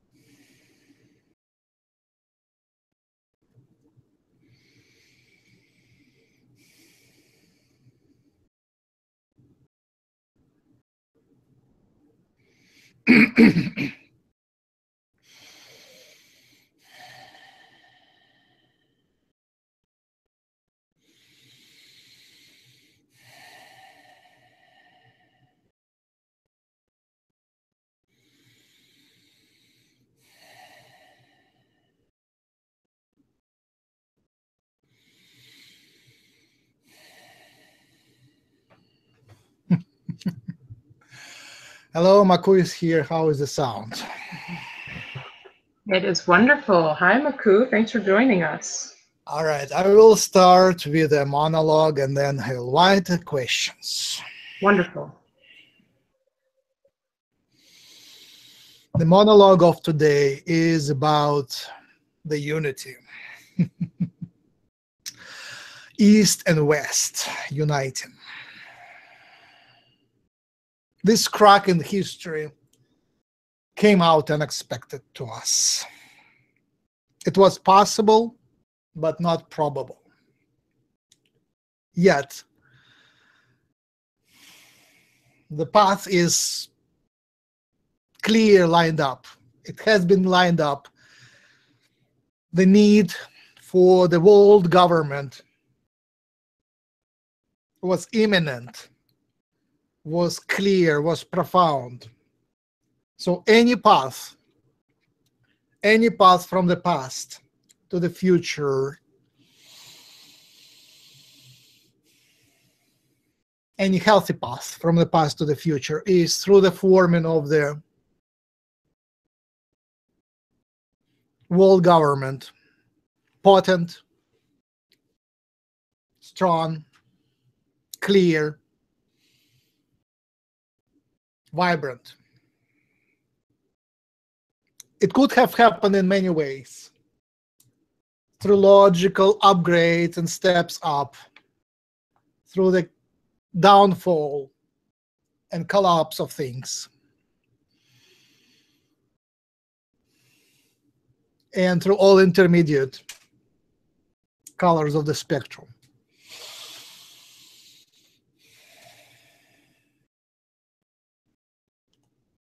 So you have chosen the collective, the human collective, the American collective has chosen polarity, the path of polarity, the polarization, division of two poles, blue and red.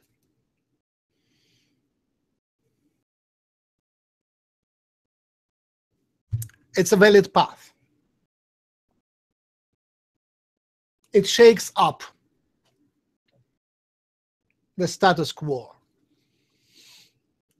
It shakes up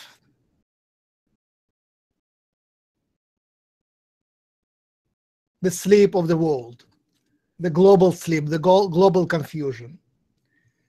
And as it shakes up, the veil cracks. The veil cracks. And clarity comes out, awakening comes out much faster. It's a very nice and valid way. A very nice. We welcome it. It's your choice and we welcome it. The path to union is through uniting of East and West, through uniting of secular and spiritual through uniting. As your reality divides in different fragments and different polarities, these polarities, each of these polarities becomes more united within itself because you all are forced, prompted, and forced to choose who you are and on which side you are. And as you decide, you are given the energy, you are given the tools, you are given the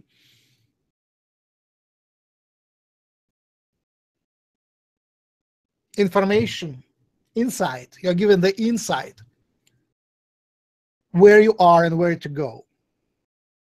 So this causes and will cause the crystallization of society, the centers, the crystals, the seeds will cause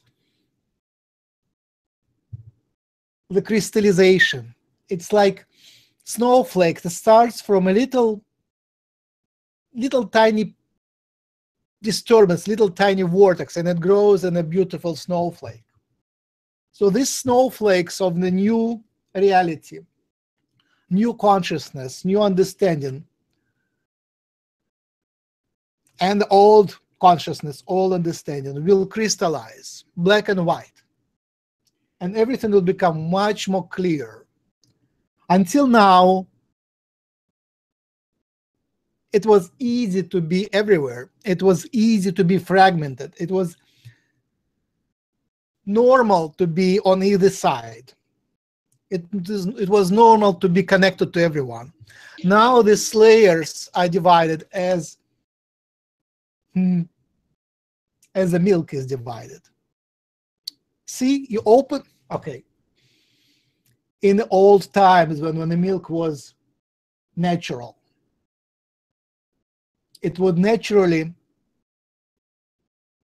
become sour and divide into clear fraction and white fraction and the cream. Even in these times, if you let the milk stay for a long time, it will finally get sour and divided. Now that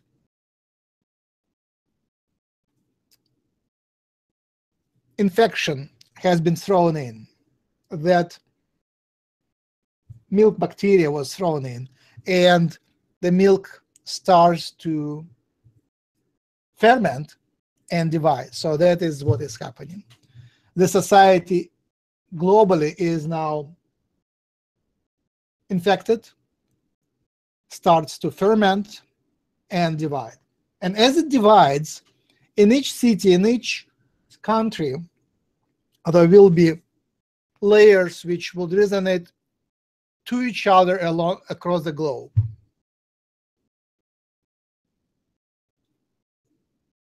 And that will inevitably, inevitably, inevitably lead to the fold, to the fall, to the fall of the old empires, old empires like Roman Empire fell, British Empire fell, the new Western empires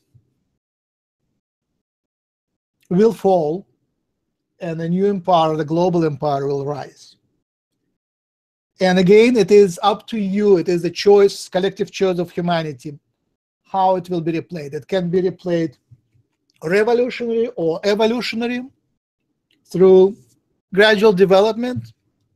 The fall can be negligible or it can be huge. Either way, the path is to the formation of the global government. Global coherence, global unity. It can happen fast, it can happen slow, but that is the path.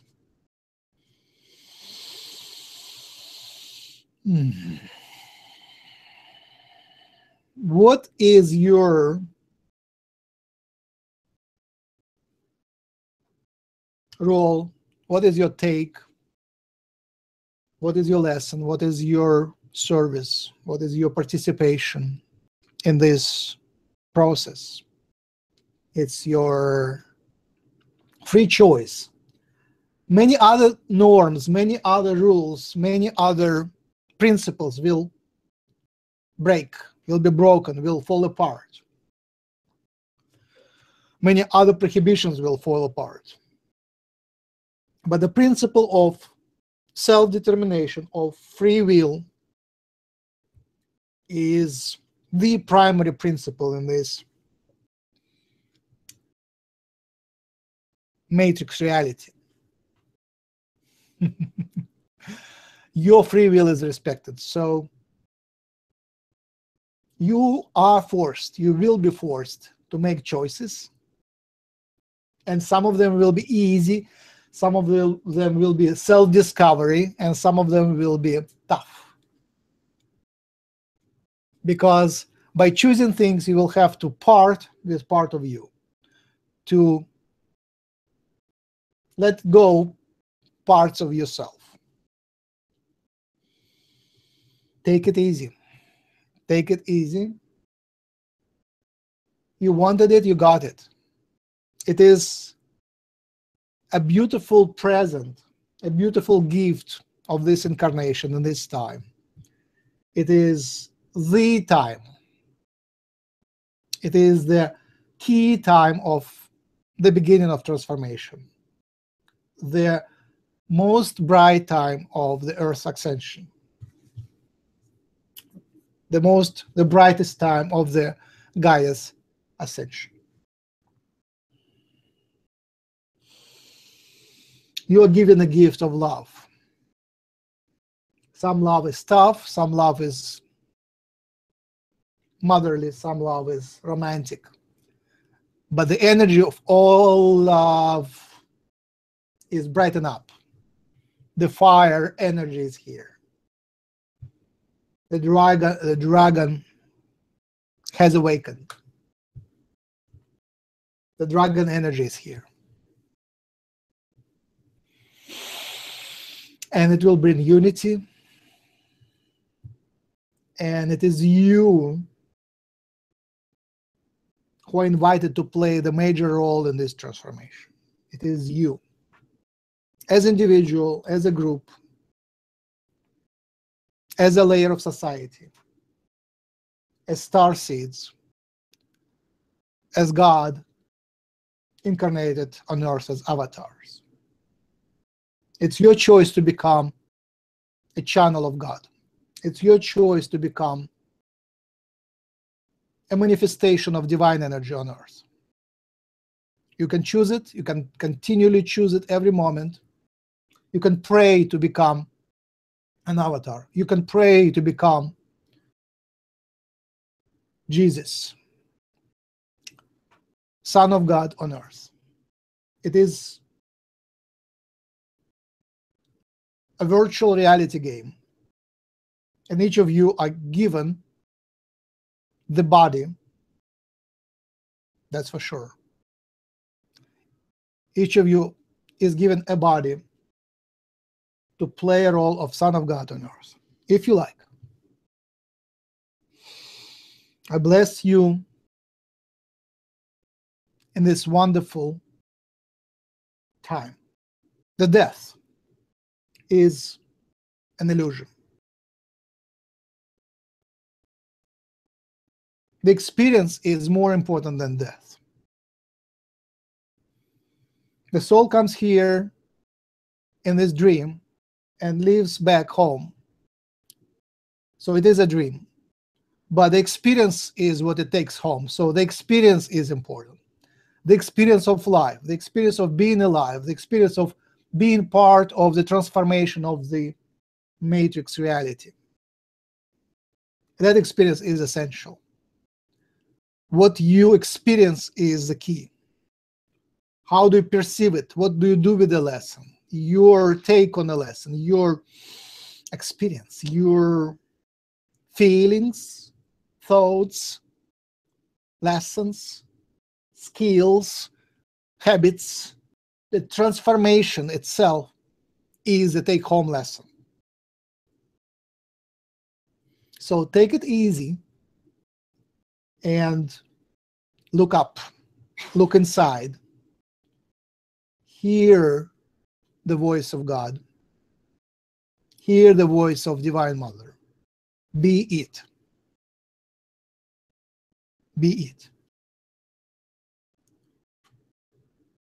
Be the hands, be the bodies of the divine energy. I welcome you. Thank you. I'm open to discussion and sharing some questions. Thank you, Niku. That was beautiful. I'm hearing an echo, by the way. I'm sorry. Um, so we do have a question. I will wait a minute. Okay, thank you. We um, have a question regarding the 33 steps of ascension, if you are able to comment on that at all.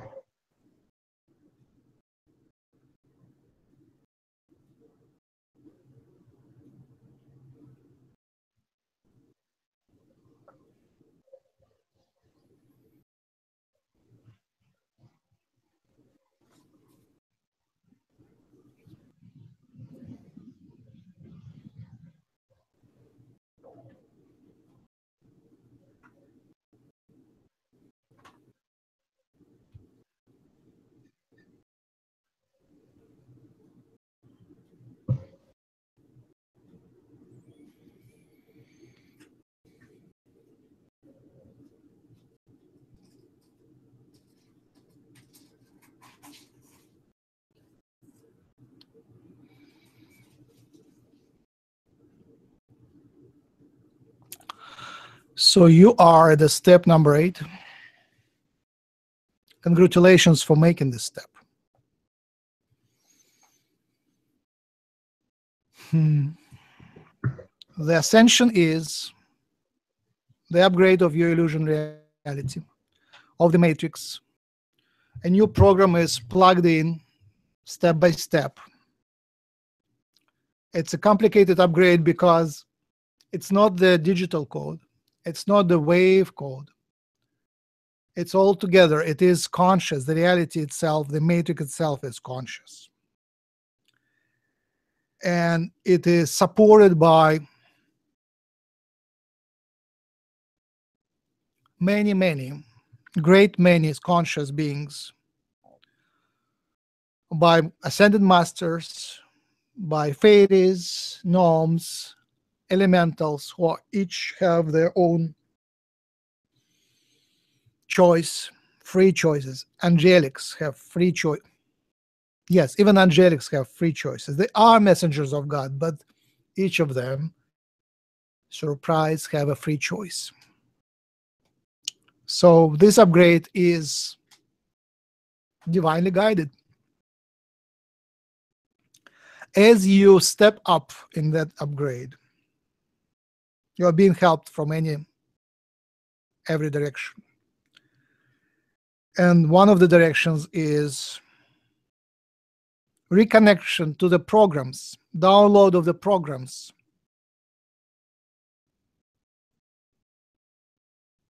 Of Jesus and ascended masters and the fourth density aliens, their reality gradually becomes closer to yours, and you get downloads and upgrades with their energies and their timelines. Your timelines were largely separate from the four density timelines. Now they intersect with your timeline.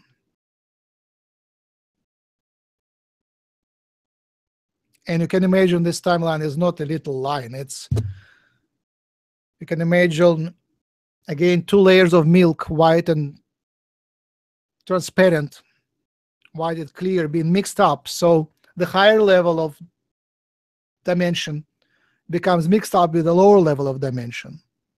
Hmm. And at some point they will become one as you ascend. Part of the 3D program will, will be left behind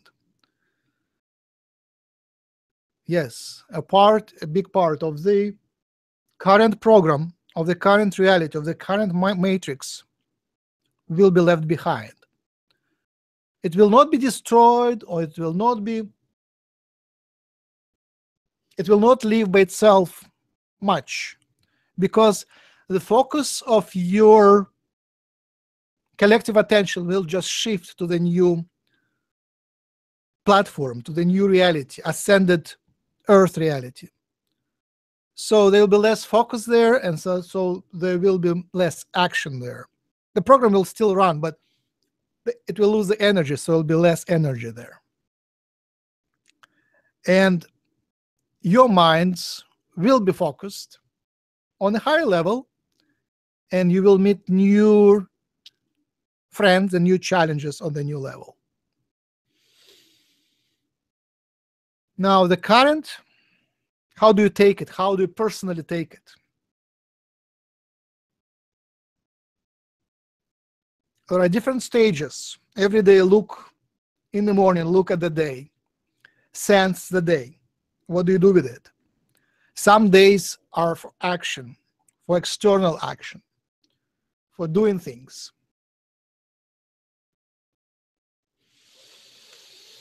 And some days are for internal action, for internally doing things, for self reflection,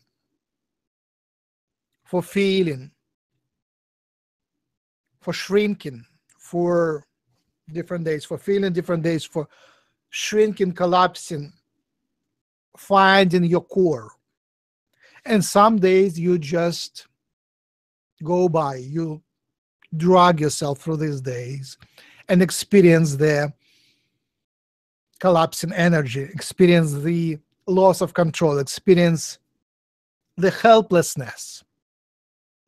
It is part of the experience. As things change, sometimes the best action, the, be- the best mode of action is to do nothing and just to go through while collecting your experiences and sending them up. So in your meditations, grab your experience from the past period and upload, send them up, send them up and down to the ground and to the sky. Process them, release them through all possible means, including biochemical, biochemical ways of release, through liquids, through breathing, breathe it out, cough it out. The winter colds, the fall and winter colds are given to you for releasing things. Cough them out, sneeze them out, and cough them out. It's time for releasing the past trauma, the le- releasing the unneeded parts of you, unneeded vortexes, unneeded attachments. That is the stage. And on other days, find yourself, find your new self, discover your new self, define your new self, make a choice, choose a direction, and stick to it. And breathe the energy in and absorb the fire energy and breathe it in, bring it in, breathe it in into the new you. Thank you. Thank you. We have a question from Kato. Also, there is a echo again, by the way. Um, Kato, would you like to ask? Yeah, can you hear me? Yes. Yes. Okay, thank you for taking the question. Uh, I keep hearing that we have free choice, but I also see in my experience that bigger themes are already decided by soul and collectives and higher selves, and humans have very small part. Uh, they have too many limitations. They have free will, but with limitations because higher themes are already decided. Is that true? In existence, does a small end and a big galaxy do, do both of them have same power of will or are larger beings have more power Yes, thank you. Yes. Um, your question contains all the answers. Yes, wonderful question. Um,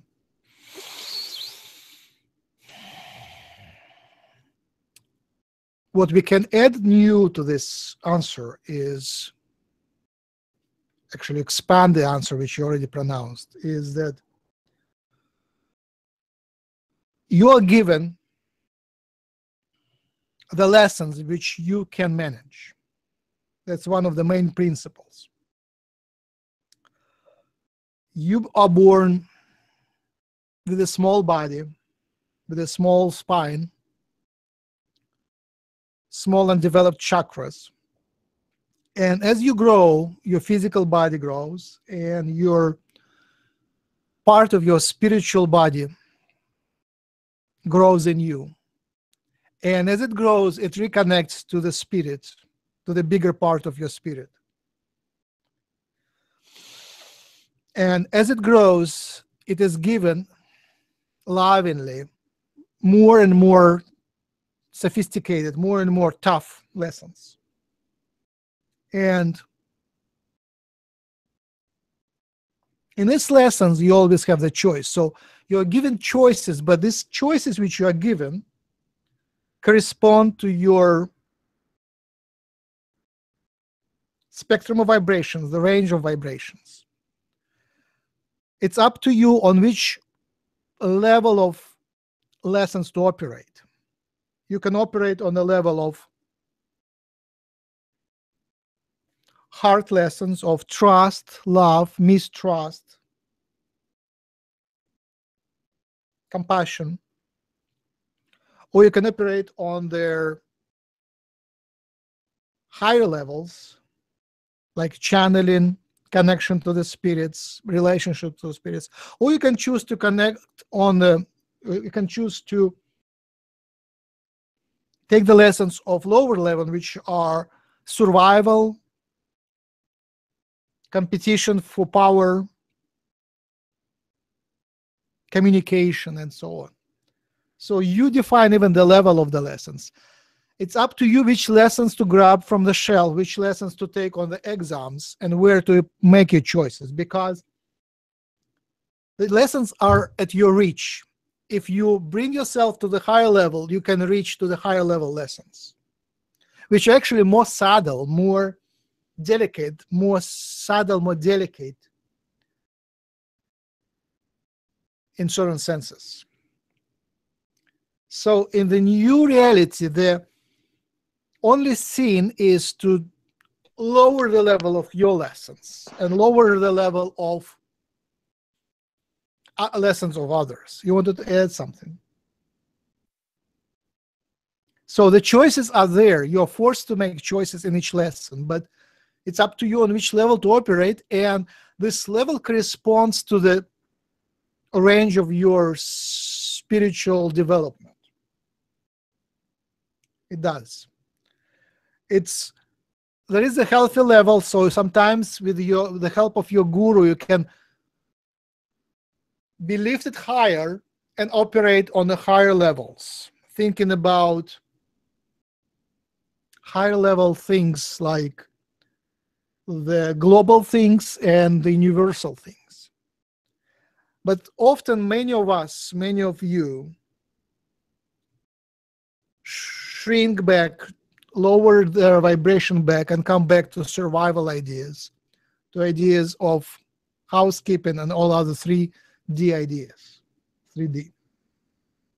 It's okay. It's okay to oscillate up and down in different lessons. Yes but high lessons are always available so aim to grow up and be available to higher lessons. And as you pray as you ask for level lessons of higher level they are given to you lovingly. And the prayer for that is my divine mother i wish to play an essential role in your plans. I wish to play an essential role in their ascension. I wish to play an essential role in service, in helping this reality to rise to a higher level. And as you pray, you'll be given the opportunity to do that.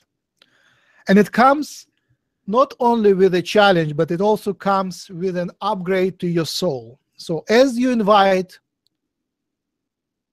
more challenges on high level, you are given the programs, the downloads, the connections, the silver cord lines to ascended masters who give you the wisdom to work on this high level. It is that fluid, it is that flexible yes, the topics are predefined, but as you progress through the topics, as you ask to move to a certain direction, you are given lots of help. So it is permissible to shift and move. You have tons of choices. You do. Thank you. Thank you. It was very helpful. Wonderful. Thank you. Uh, Makku I, and Max, I want to bring to your attention, it is uh, 9.25 your, or excuse me, 10.25 a.m. your time. Um, I wanted to see if you wanted to still take a few more questions. Let's keep going. I will let you know when we want to stop. I, I'm thinking about between half an hour and, and an hour more. Okay, Wonderful. Great. We do have some more questions. So um, earlier on, way earlier on, we did have a question from Amran. Now, this was geared towards the Divine Mother. He wanted to see if the Divine Mother had um, any messages for him, but uh, you are connected. We are all connected. So, um, would you be able to pass any messages for him?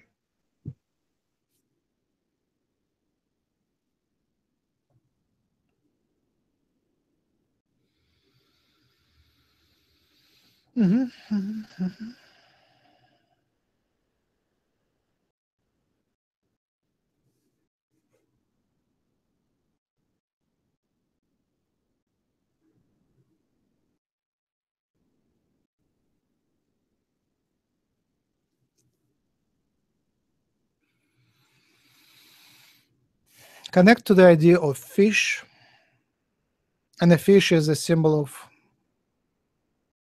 Pisces and the Christianity and the Christ.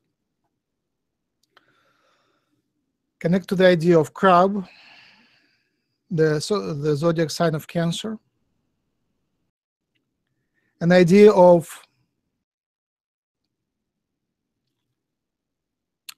popping up and connecting to the world, getting out of your water, jumping up into the air, and connecting to the outside, and then diving in and going into inside. Up, down, out, in, out, in. And the cancer, which is having a wonderful protection, a strong protection, while remaining very sensitive. Very sensitive. You go out, you be sensitive, be vulnerable, and go in and protect yourself with your crust, with your outer layer of protection.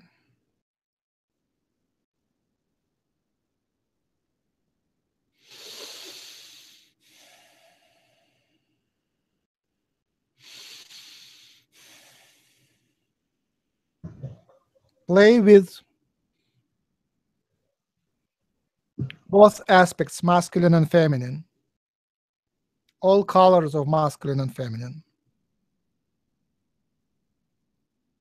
And the flower and the smell of the rose as one of the highest vibrational smells, which is a gift for you to be connected to the divine mother energy.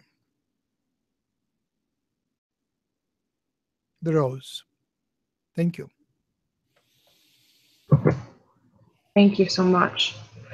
We have a question from Kina. Um, I hope I'm able to read this correctly. Um, she's asking if we are able to more quickly clear our chakras using the breath of fire technique. Um, and also, there's a second part about angels, um, which I don't understand. I'm sorry, but let's start with the first one.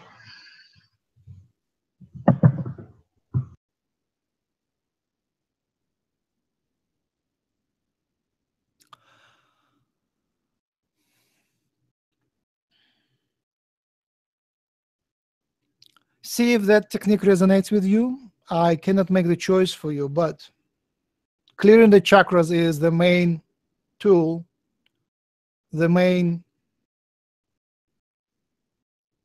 means for their spiritual growth. The chakra is contains the past life experience. Each chakra contains the past life experience and the trauma of this life.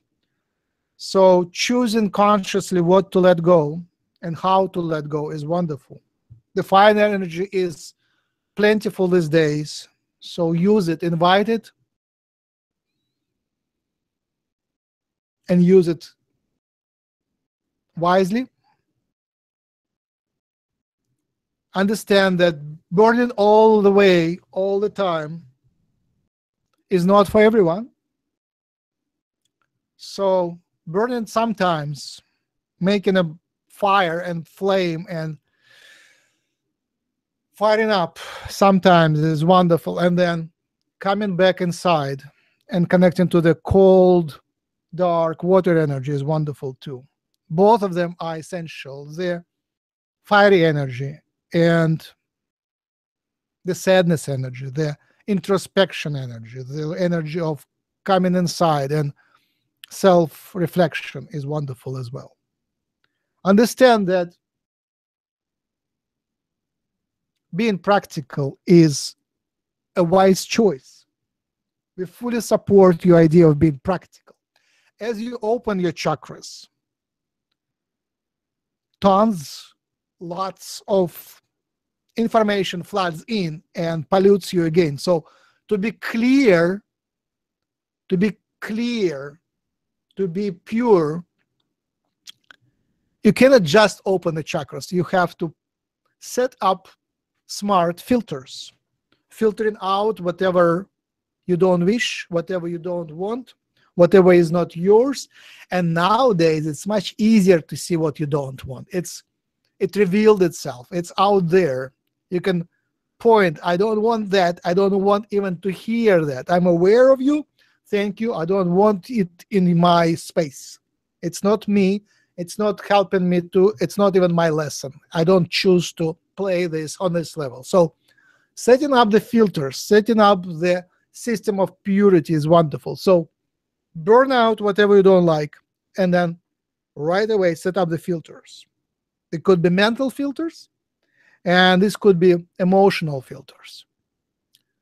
I feel nice about you, but I'm sorry, I don't let this trauma to get in and this drama to get into my space. I choose to be pure and joyful no matter what. I choose to be pure and joyful no matter what. Nothing gonna change my world. Nothing gonna change my world. Nothing gonna change my world. That's my advice. Thank you.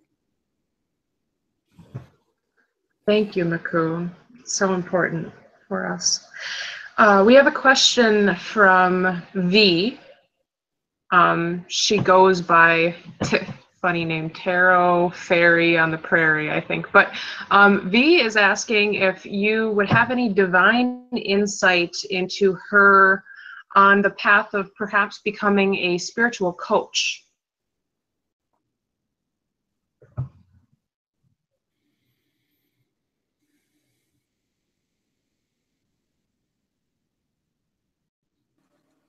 Okay.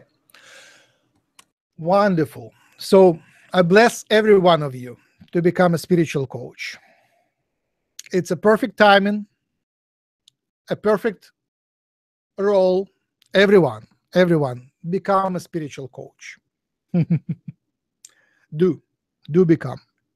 Coach yourself, coach others. Be tactful, diplomatic, and give people not all your vast knowledge, but the next step suggestion and ask them ask them what what is their excitement what is their interest what is their trouble and ask right questions. Sometimes to coach the only thing you need to do is to find one perfect question and this question can be that very little short that it could be all that you need to do for coaching. Now becoming a life coach means making it a, a business. And for business you need certain business talents certain spiritual talents. So develop them if you like the fact that you ask the question means you are exploring that idea. So it's already a possibility. And dream it up, dream it around, dream it in, dream it, make it a burning flame. And as it becomes stronger, learn from our from others the art of business, the art of customer service, the art of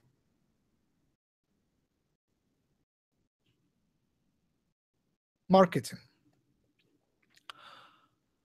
It is doable. It is mostly worked through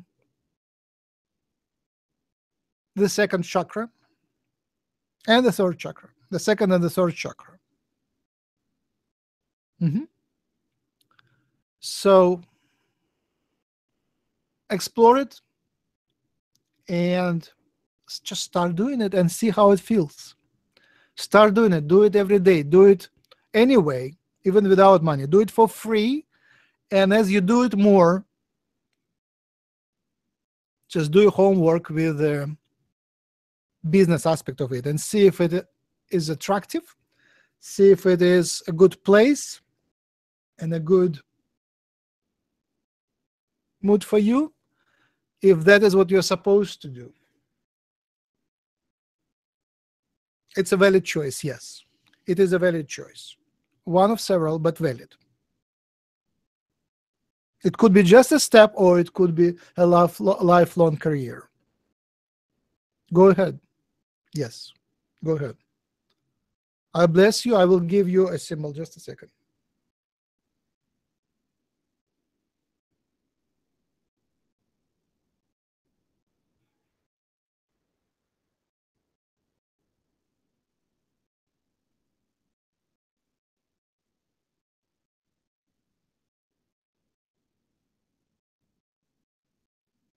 So the symbol is upliftment. You just uplift, uplift the other. It's a service of uplifting the other. So that's a mudra for you. Uplift the others. It's a service. Thank you. Thank you. That is so beautiful and huge as we are all, I believe, at least becoming our own spiritual coaches and maybe helping people in the process. So thank you. Um, wonderful. We have a question next from um, Jody. She is wondering, as a as Max's higher self, if you are able to connect to her higher self and provide her with um, any sort of important messages for her at this time. Give me a minute.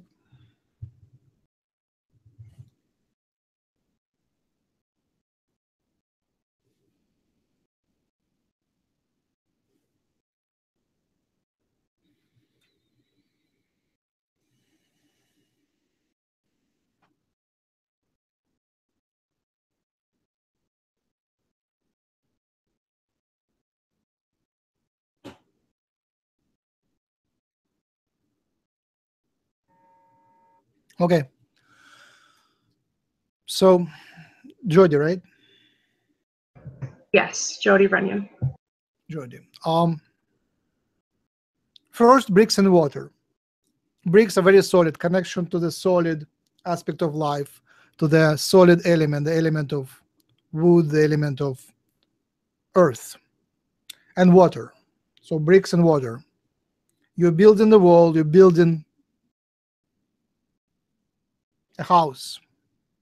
You're building a house. And as you do it carefully and nicely, lovingly, you build a house, you build a construction, you go, you communicate with water and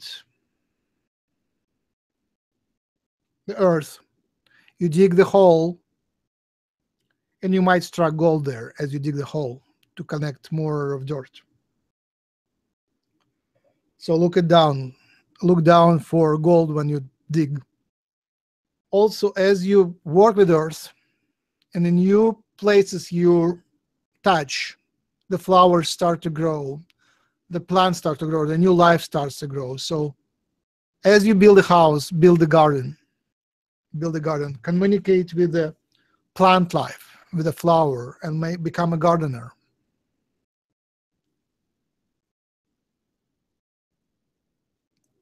And as you do that hard work, look up. Look up. And you see a star which comes closer and becomes an orb. And it's become the orb, an orb, it has rings around it like Jupiter does. So connect to this star energy as well. And then brings the elements together the star, the earth, the water, and the life.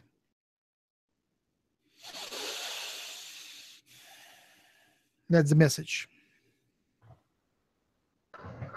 Absolutely gorgeous. Okay, we have a question next on the YouTube live chat from uh, Race B is the username. Um, and Race B asks, can another parallel reality help me to get rid of the TMAU bacteria? Just a minute.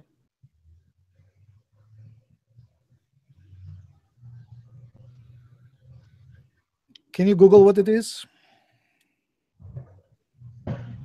Um, yes, one moment, as I am not sure. Um,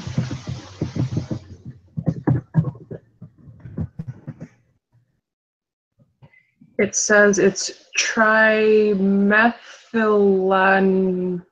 Hold on, sorry, trimethylaminuria. It's also known as fish malodor syn syndrome because of the characteristic of fishy body odor. Marine fish are high in it. Interesting. Yes, thank you.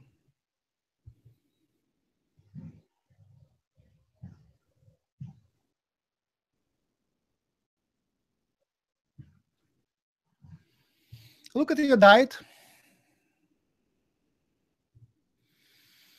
You know the principles of a good diet.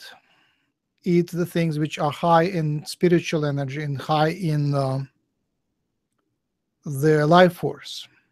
And the things which are high in life force are fresh, alive vegetables, non wheat grains, whole beans, nothing processed, filtered water, nothing chemically treated.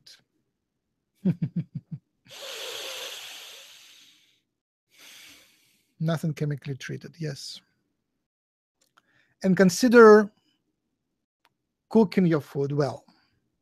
Consider have it cooked well with love and paying attention to the process. Not too cooked, not overcooked, not undercooked. Perfectly cooked and tasting wonderful. Mm. It is all about vibration, and the food is the main thing defining the vibration of that level. The second component, as important, is breathing. Breathe outside. Be outside as much as practically possible.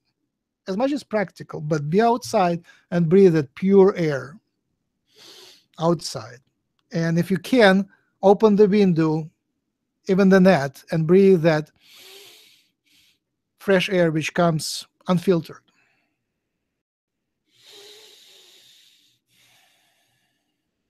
And release, release, release the, the sorrow.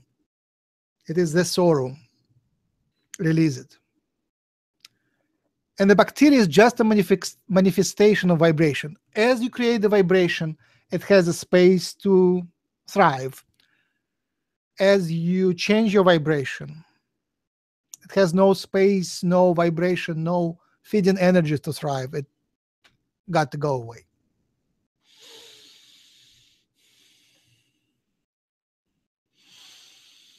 Self Reiki, self energy healing is absolutely essential. And watch your pains. And as you feel a pain on your body, in any place, in the head, in any place, just gradually, very slowly, as you meditate, help it, help it to go and get released from your body through your release systems. Release the pain, let it down and let it go away, give it back to the earth. And if things scratch and become sensitive, if your skin becomes sensitive, your inner massage a little, scratch a little, pet yourself a little, and pay attention to these flare ups and release the energies. And as you release the energies, release the sorrows and traumas attached to them. It comes from past lives mostly. So it's one of your mm, assignments in this life to release those. And it's a great opportunity to do so. I bless you. I will give you a symbol just a little bit, just a second.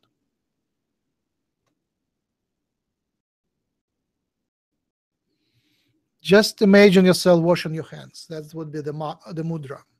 Washing your hands, releasing things from your hands. Like that. Thank you. Thank you so much. We have a question from Kina. Um, she was clarifying her second question. She said, if consciousness is the point,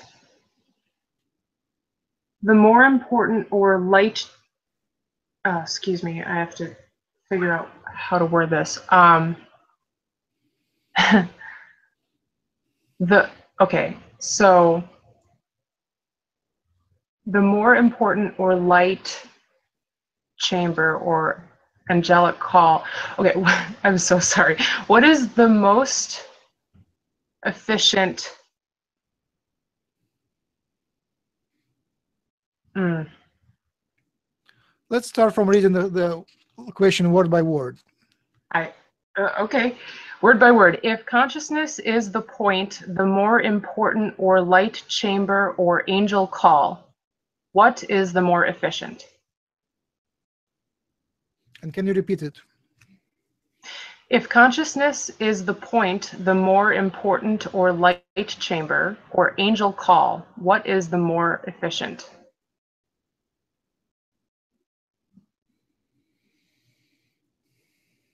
Just a sec.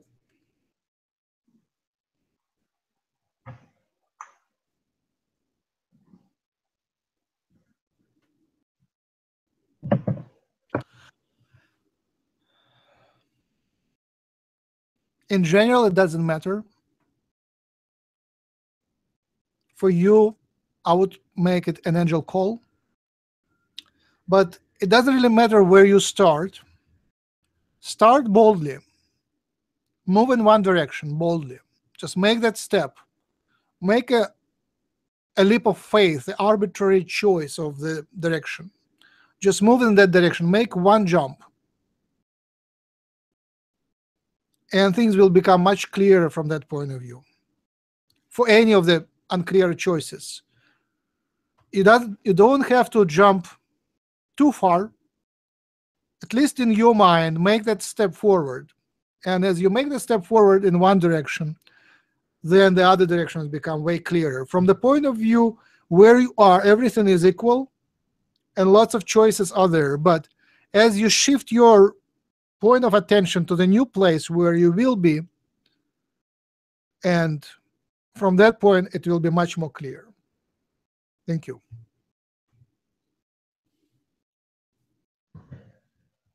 Okay thank you okay wonderful um, we have another question from Kina. Um, she just wanted to make sure that this is okay to ask, but she uh, was wondering if there are any messages for her.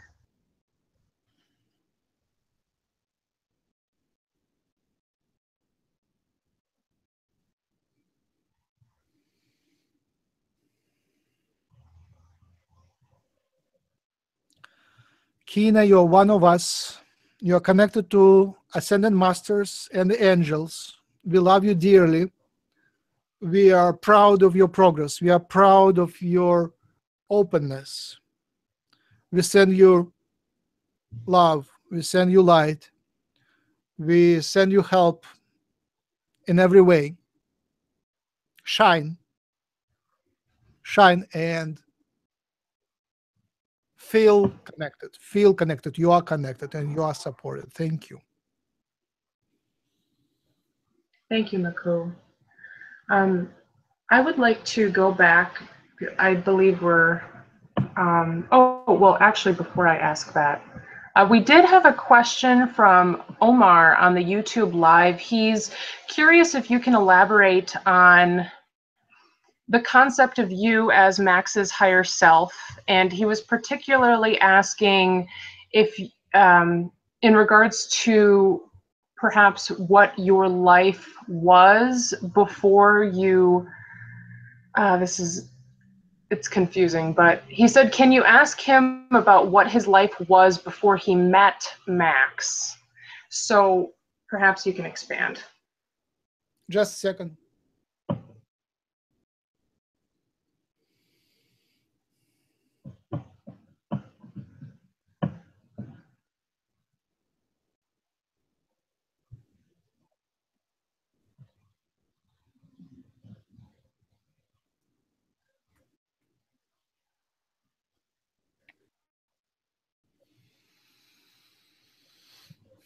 It is not a good time to reveal my identity yet, but I was the one who was connecting East and West in my past life. And um, Max and I have been in previous incarnations, many lifetimes. In this lifetime, Max has multiple higher selves. And at this period of his life, I'm stepping up as his higher self to guide this period of life. It is a happy reunion. Having multiple higher selves is okay.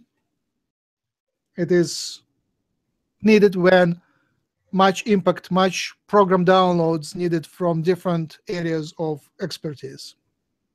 And that's where I provide my experience with connecting East and West and community building. And thank you for the question. You are loved, and I send you my appreciation for the connection to this part of the story. Thank you. Thank you, Makku. That's very interesting.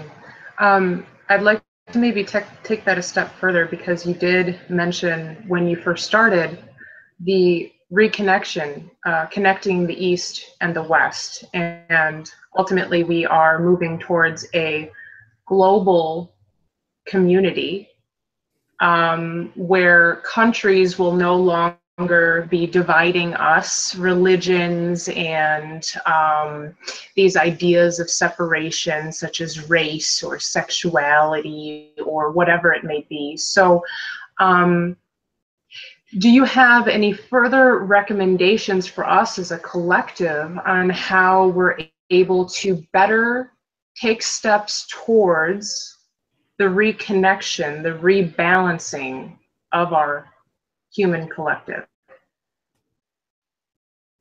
Oh, wonderful. Thank you. Great clarification questions, tons of questions at once. But um, at early stages, it is in no way implied, the global government in no way implies loss of boundaries, loss of countries, loss of religions, loss of um, national differences. Um, in the early stages, it is just creation of a federation or empire. It is, it will be your choice, collective choice, what form of government is going to be, democracy, and so on. But it is just we are talking about the creation of efficient substitute for United Nations or some other organization, or making it work actually, or making it work or replacing it. It is your choice, collective choice, how it's going to be. But as uh, countries making uh, United Europe didn't lose their identity and culture and so on, as uh, United Earth will will not be will not the countries making United Earth will not lose their identity as well. In the beginning, and then as in Roman Empire and as any other empire, the dominant culture is developed collectively and then it unites the empire. So,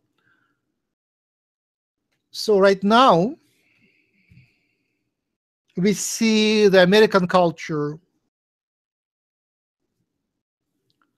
greatly transforming the world through television and internet. And it unites the world through television and internet. And even in the farthest areas of the world, cell phones exist where there is no internet, no computers, just cell phones connecting people to internet, no wired connections, just cell phones, smartphones. In their farthest villages of Africa, farthest villages of South America, of any other continent, this unification influence is tremendous. So the world is united through that. The Asian world is uniting through many other ways, including commerce. Commerce. Europe, Europe, the Europe has united in many ways through United Europe. Now things will be shaken up. The old divisions might be broken and then new alliances might be created. It's up to you how to play this drama. It can be traumatic or it can be less traumatic. But the goal is clear and it is imminent for the Earth, unavoidable for the Earth to become a part of the galaxy. And to the galaxy, the Earth will be one, will be united. As the Earth faces the galaxy, as the Earth faces the outside connections and offers of help, it is required to be united. It is required to have a united form of representation. So it is unavoidable. It is one of the major divine guidelines, divine requirements. And there is no way out. There is no way to circumvent that. So the forces that lead to unification of Earth get the energy supporting it. It can be peaceful, it can be traumatic, but one way or another, it is going to happen. And we wish you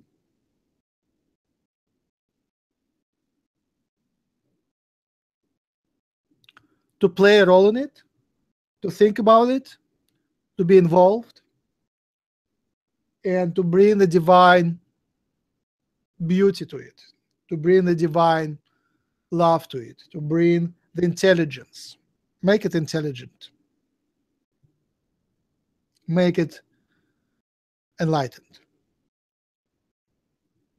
As the rest of the world dives into darkness, you become more visible, you become more shiny. You get the energy, you are given the energy, you're given the love. And your union between each other becomes stronger, will become stronger, it will be it will be enlightened, it will be fired up.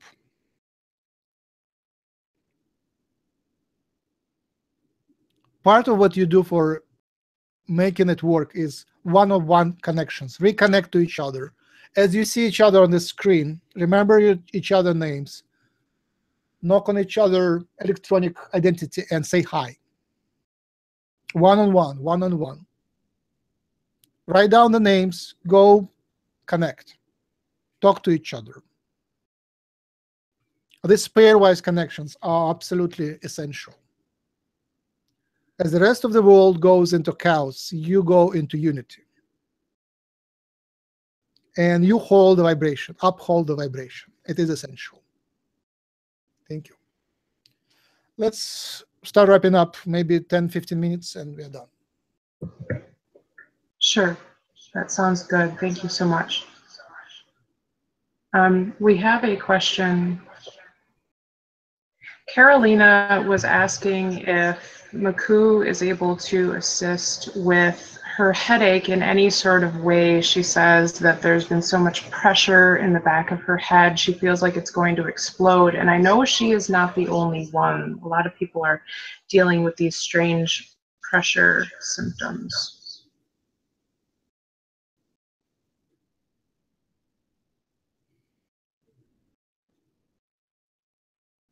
Just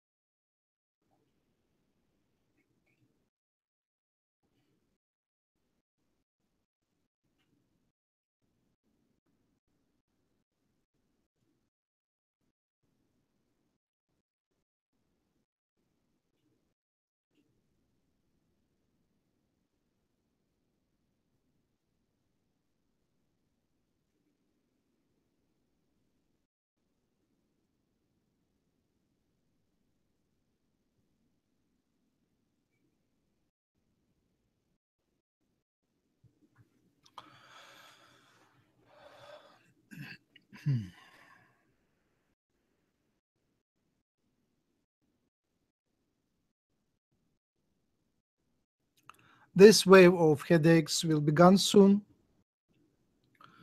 will be over soon. But in general, I wish you get in a state where you get no headaches whatsoever. It is possible for you. There are many tools, but in general idea, the general idea is that you're being given gifts of new energies, gifts of new downloads, and they are stuck, blocked, and that's what causes the headache. So be able to accept these downloads as they're given to you as a gift, as divine love. You're being sent love and you're just saying too much love please slow down. So be able to accept more love. Be able to accept more downloads. It is positive thing that comes to you. So get your all your bodies get all your bodies in a state of acceptance.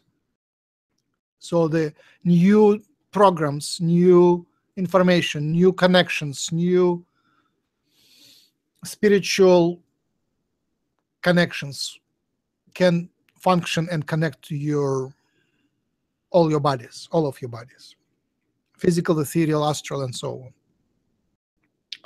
There are techniques.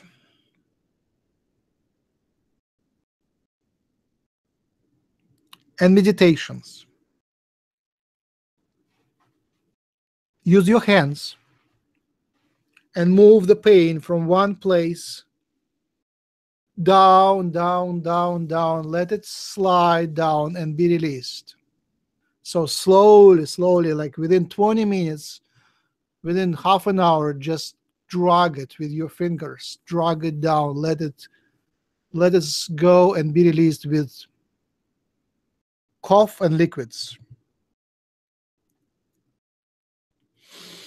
It is about holding on to the past, holding on to the past trauma, holding on to the drama go reflect on your love life and remember the drama remember the trauma and just decide to let it go decide to release it. It's not helpful. The lesson is learned. It's not helpful anymore to hold on to it. Remember your pre-adolescent child traumas of non-love of unfairness. Remember those. Bring them up to the surface and release. Hmm. Feel your inner energy and rebalance it. Come up with your prayers, come up with your energy around you, come up with the structures which would support and protect your release, your upgrade. You're doing a wonderful job. We love you. You are great. And that's why you get so much attention. You get so much pushed onto you, pushed onto you, so much of downloads offered. Take them. We beg you, take them. Thank you. That was beautiful. Thank you. Um, we also have a question. I know we're wrapping up here, we're almost done, but Michelle was just curious if there are any messages for her.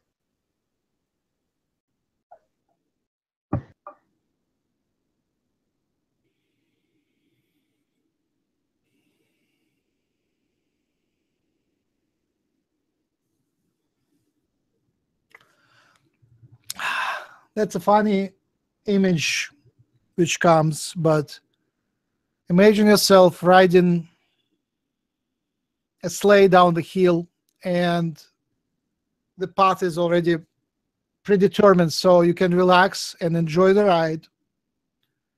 Uh, there is not much you can do outside of your sleigh but inside there is tons of work, inner work, and it is rebirth of a phoenix. Connect to the idea of rebirth of the phoenix bird, resurrection, resurrection, the story of Christmas, resurrection. You die and you're born again. The sun goes down and is born again in the east. The truth is born again in the east.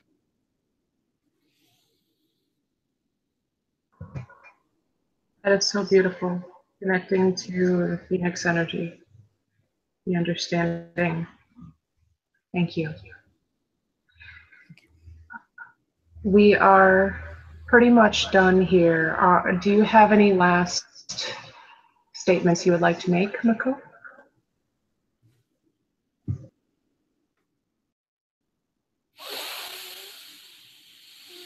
Hmm. Okay, thank you you are suspecting tons of interesting things that happen beyond the veil, and it is true. You are intuitively feeling there is as much change is happening on the surface, even more is happening beyond the veil. As you discover new connections in your life, we are delighted because the old fairy tales, the old uh, stories which were played, the old dramas which were played in many incarnations resurface again. Now this drama is replayed in a new way. It was predicted, it was placed in this location of time it was divinely allowed for this time. And with all the predetermined prompts, programs, suggestions, each of you has a free choice. Each of you, you have free choice. So we enjoy seeing how you awaken and how you start participating in this wonderful play. It is a drama, it is a play, but it is so important. It will not only change you and your life, it will not only change your country and your planet, it will not only change your galaxy and this reality, it will, the wave of your awakening and your transformation will go beyond. It is one of the brightest acts of their huge drama, huge novel, which goes in the past beyond Atlantis. And now it is rebirth and replay of old traumas and resolution of the old troubles, the old conflicts. And you are the ones who are making it, playing it for real in this illusionary matrix reality. So I bless you. You are being loved. Discover your connections. Reconnect to us. Reconnect to your past lives.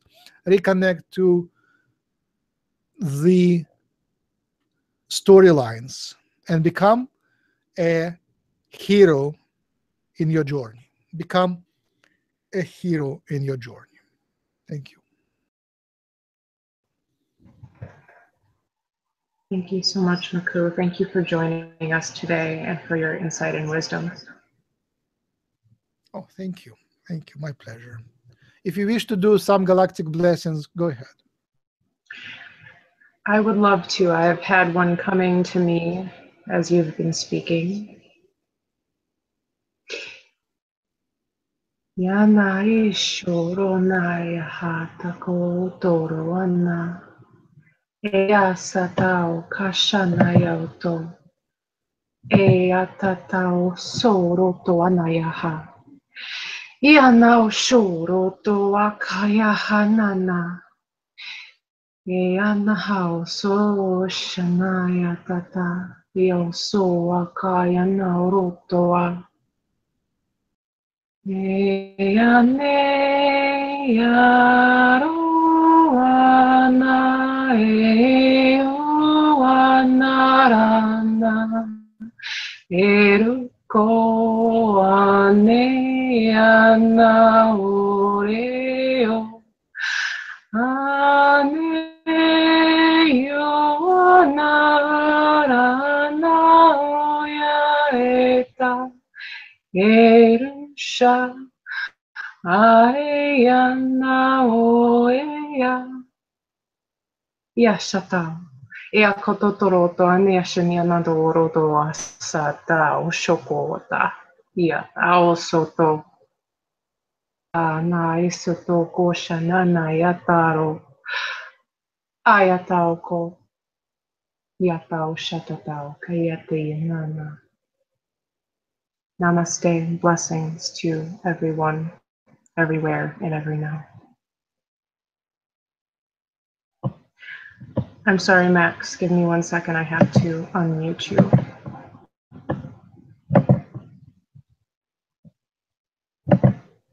Okay. You're good. An old woman is cooking. The sun is going down. She mixes the soup in her bowl in the, in the big pot. And as she mixes the soup, the galaxies are born. as she mixes the soup, uh, the kingdoms rise and the kingdoms fall. It's all one big circle. And the sun will rise and the love will rise and you will be born again and you will be the savior of the world. ونشكات أنا تكتسكتا شكتا أنا وتكتا أنا هي شكتا أنا كوتا هيتيني هيتكوتو سكتا أنا كوتا أنا بوشكتا كتا أنا كتكوتو كتكتا أنا كتسكتا أنا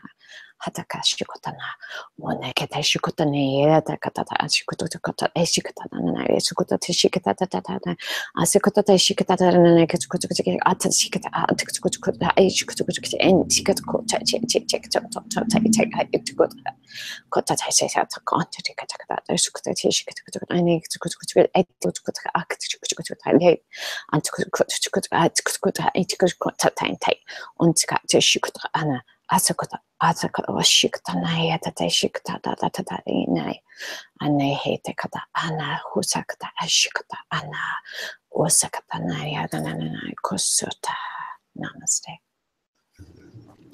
dance dance dance dance in circle. Hold your hands dance in circle. And as it turn to the west you see the darkness. As you turn to the east you see the light. Dance, dance, dance. You're everything. You're everyone. You are the God. You are the earth. You are the fire. You are the water. Dance, dance, and enjoy. Enjoy changing your shape. Amen.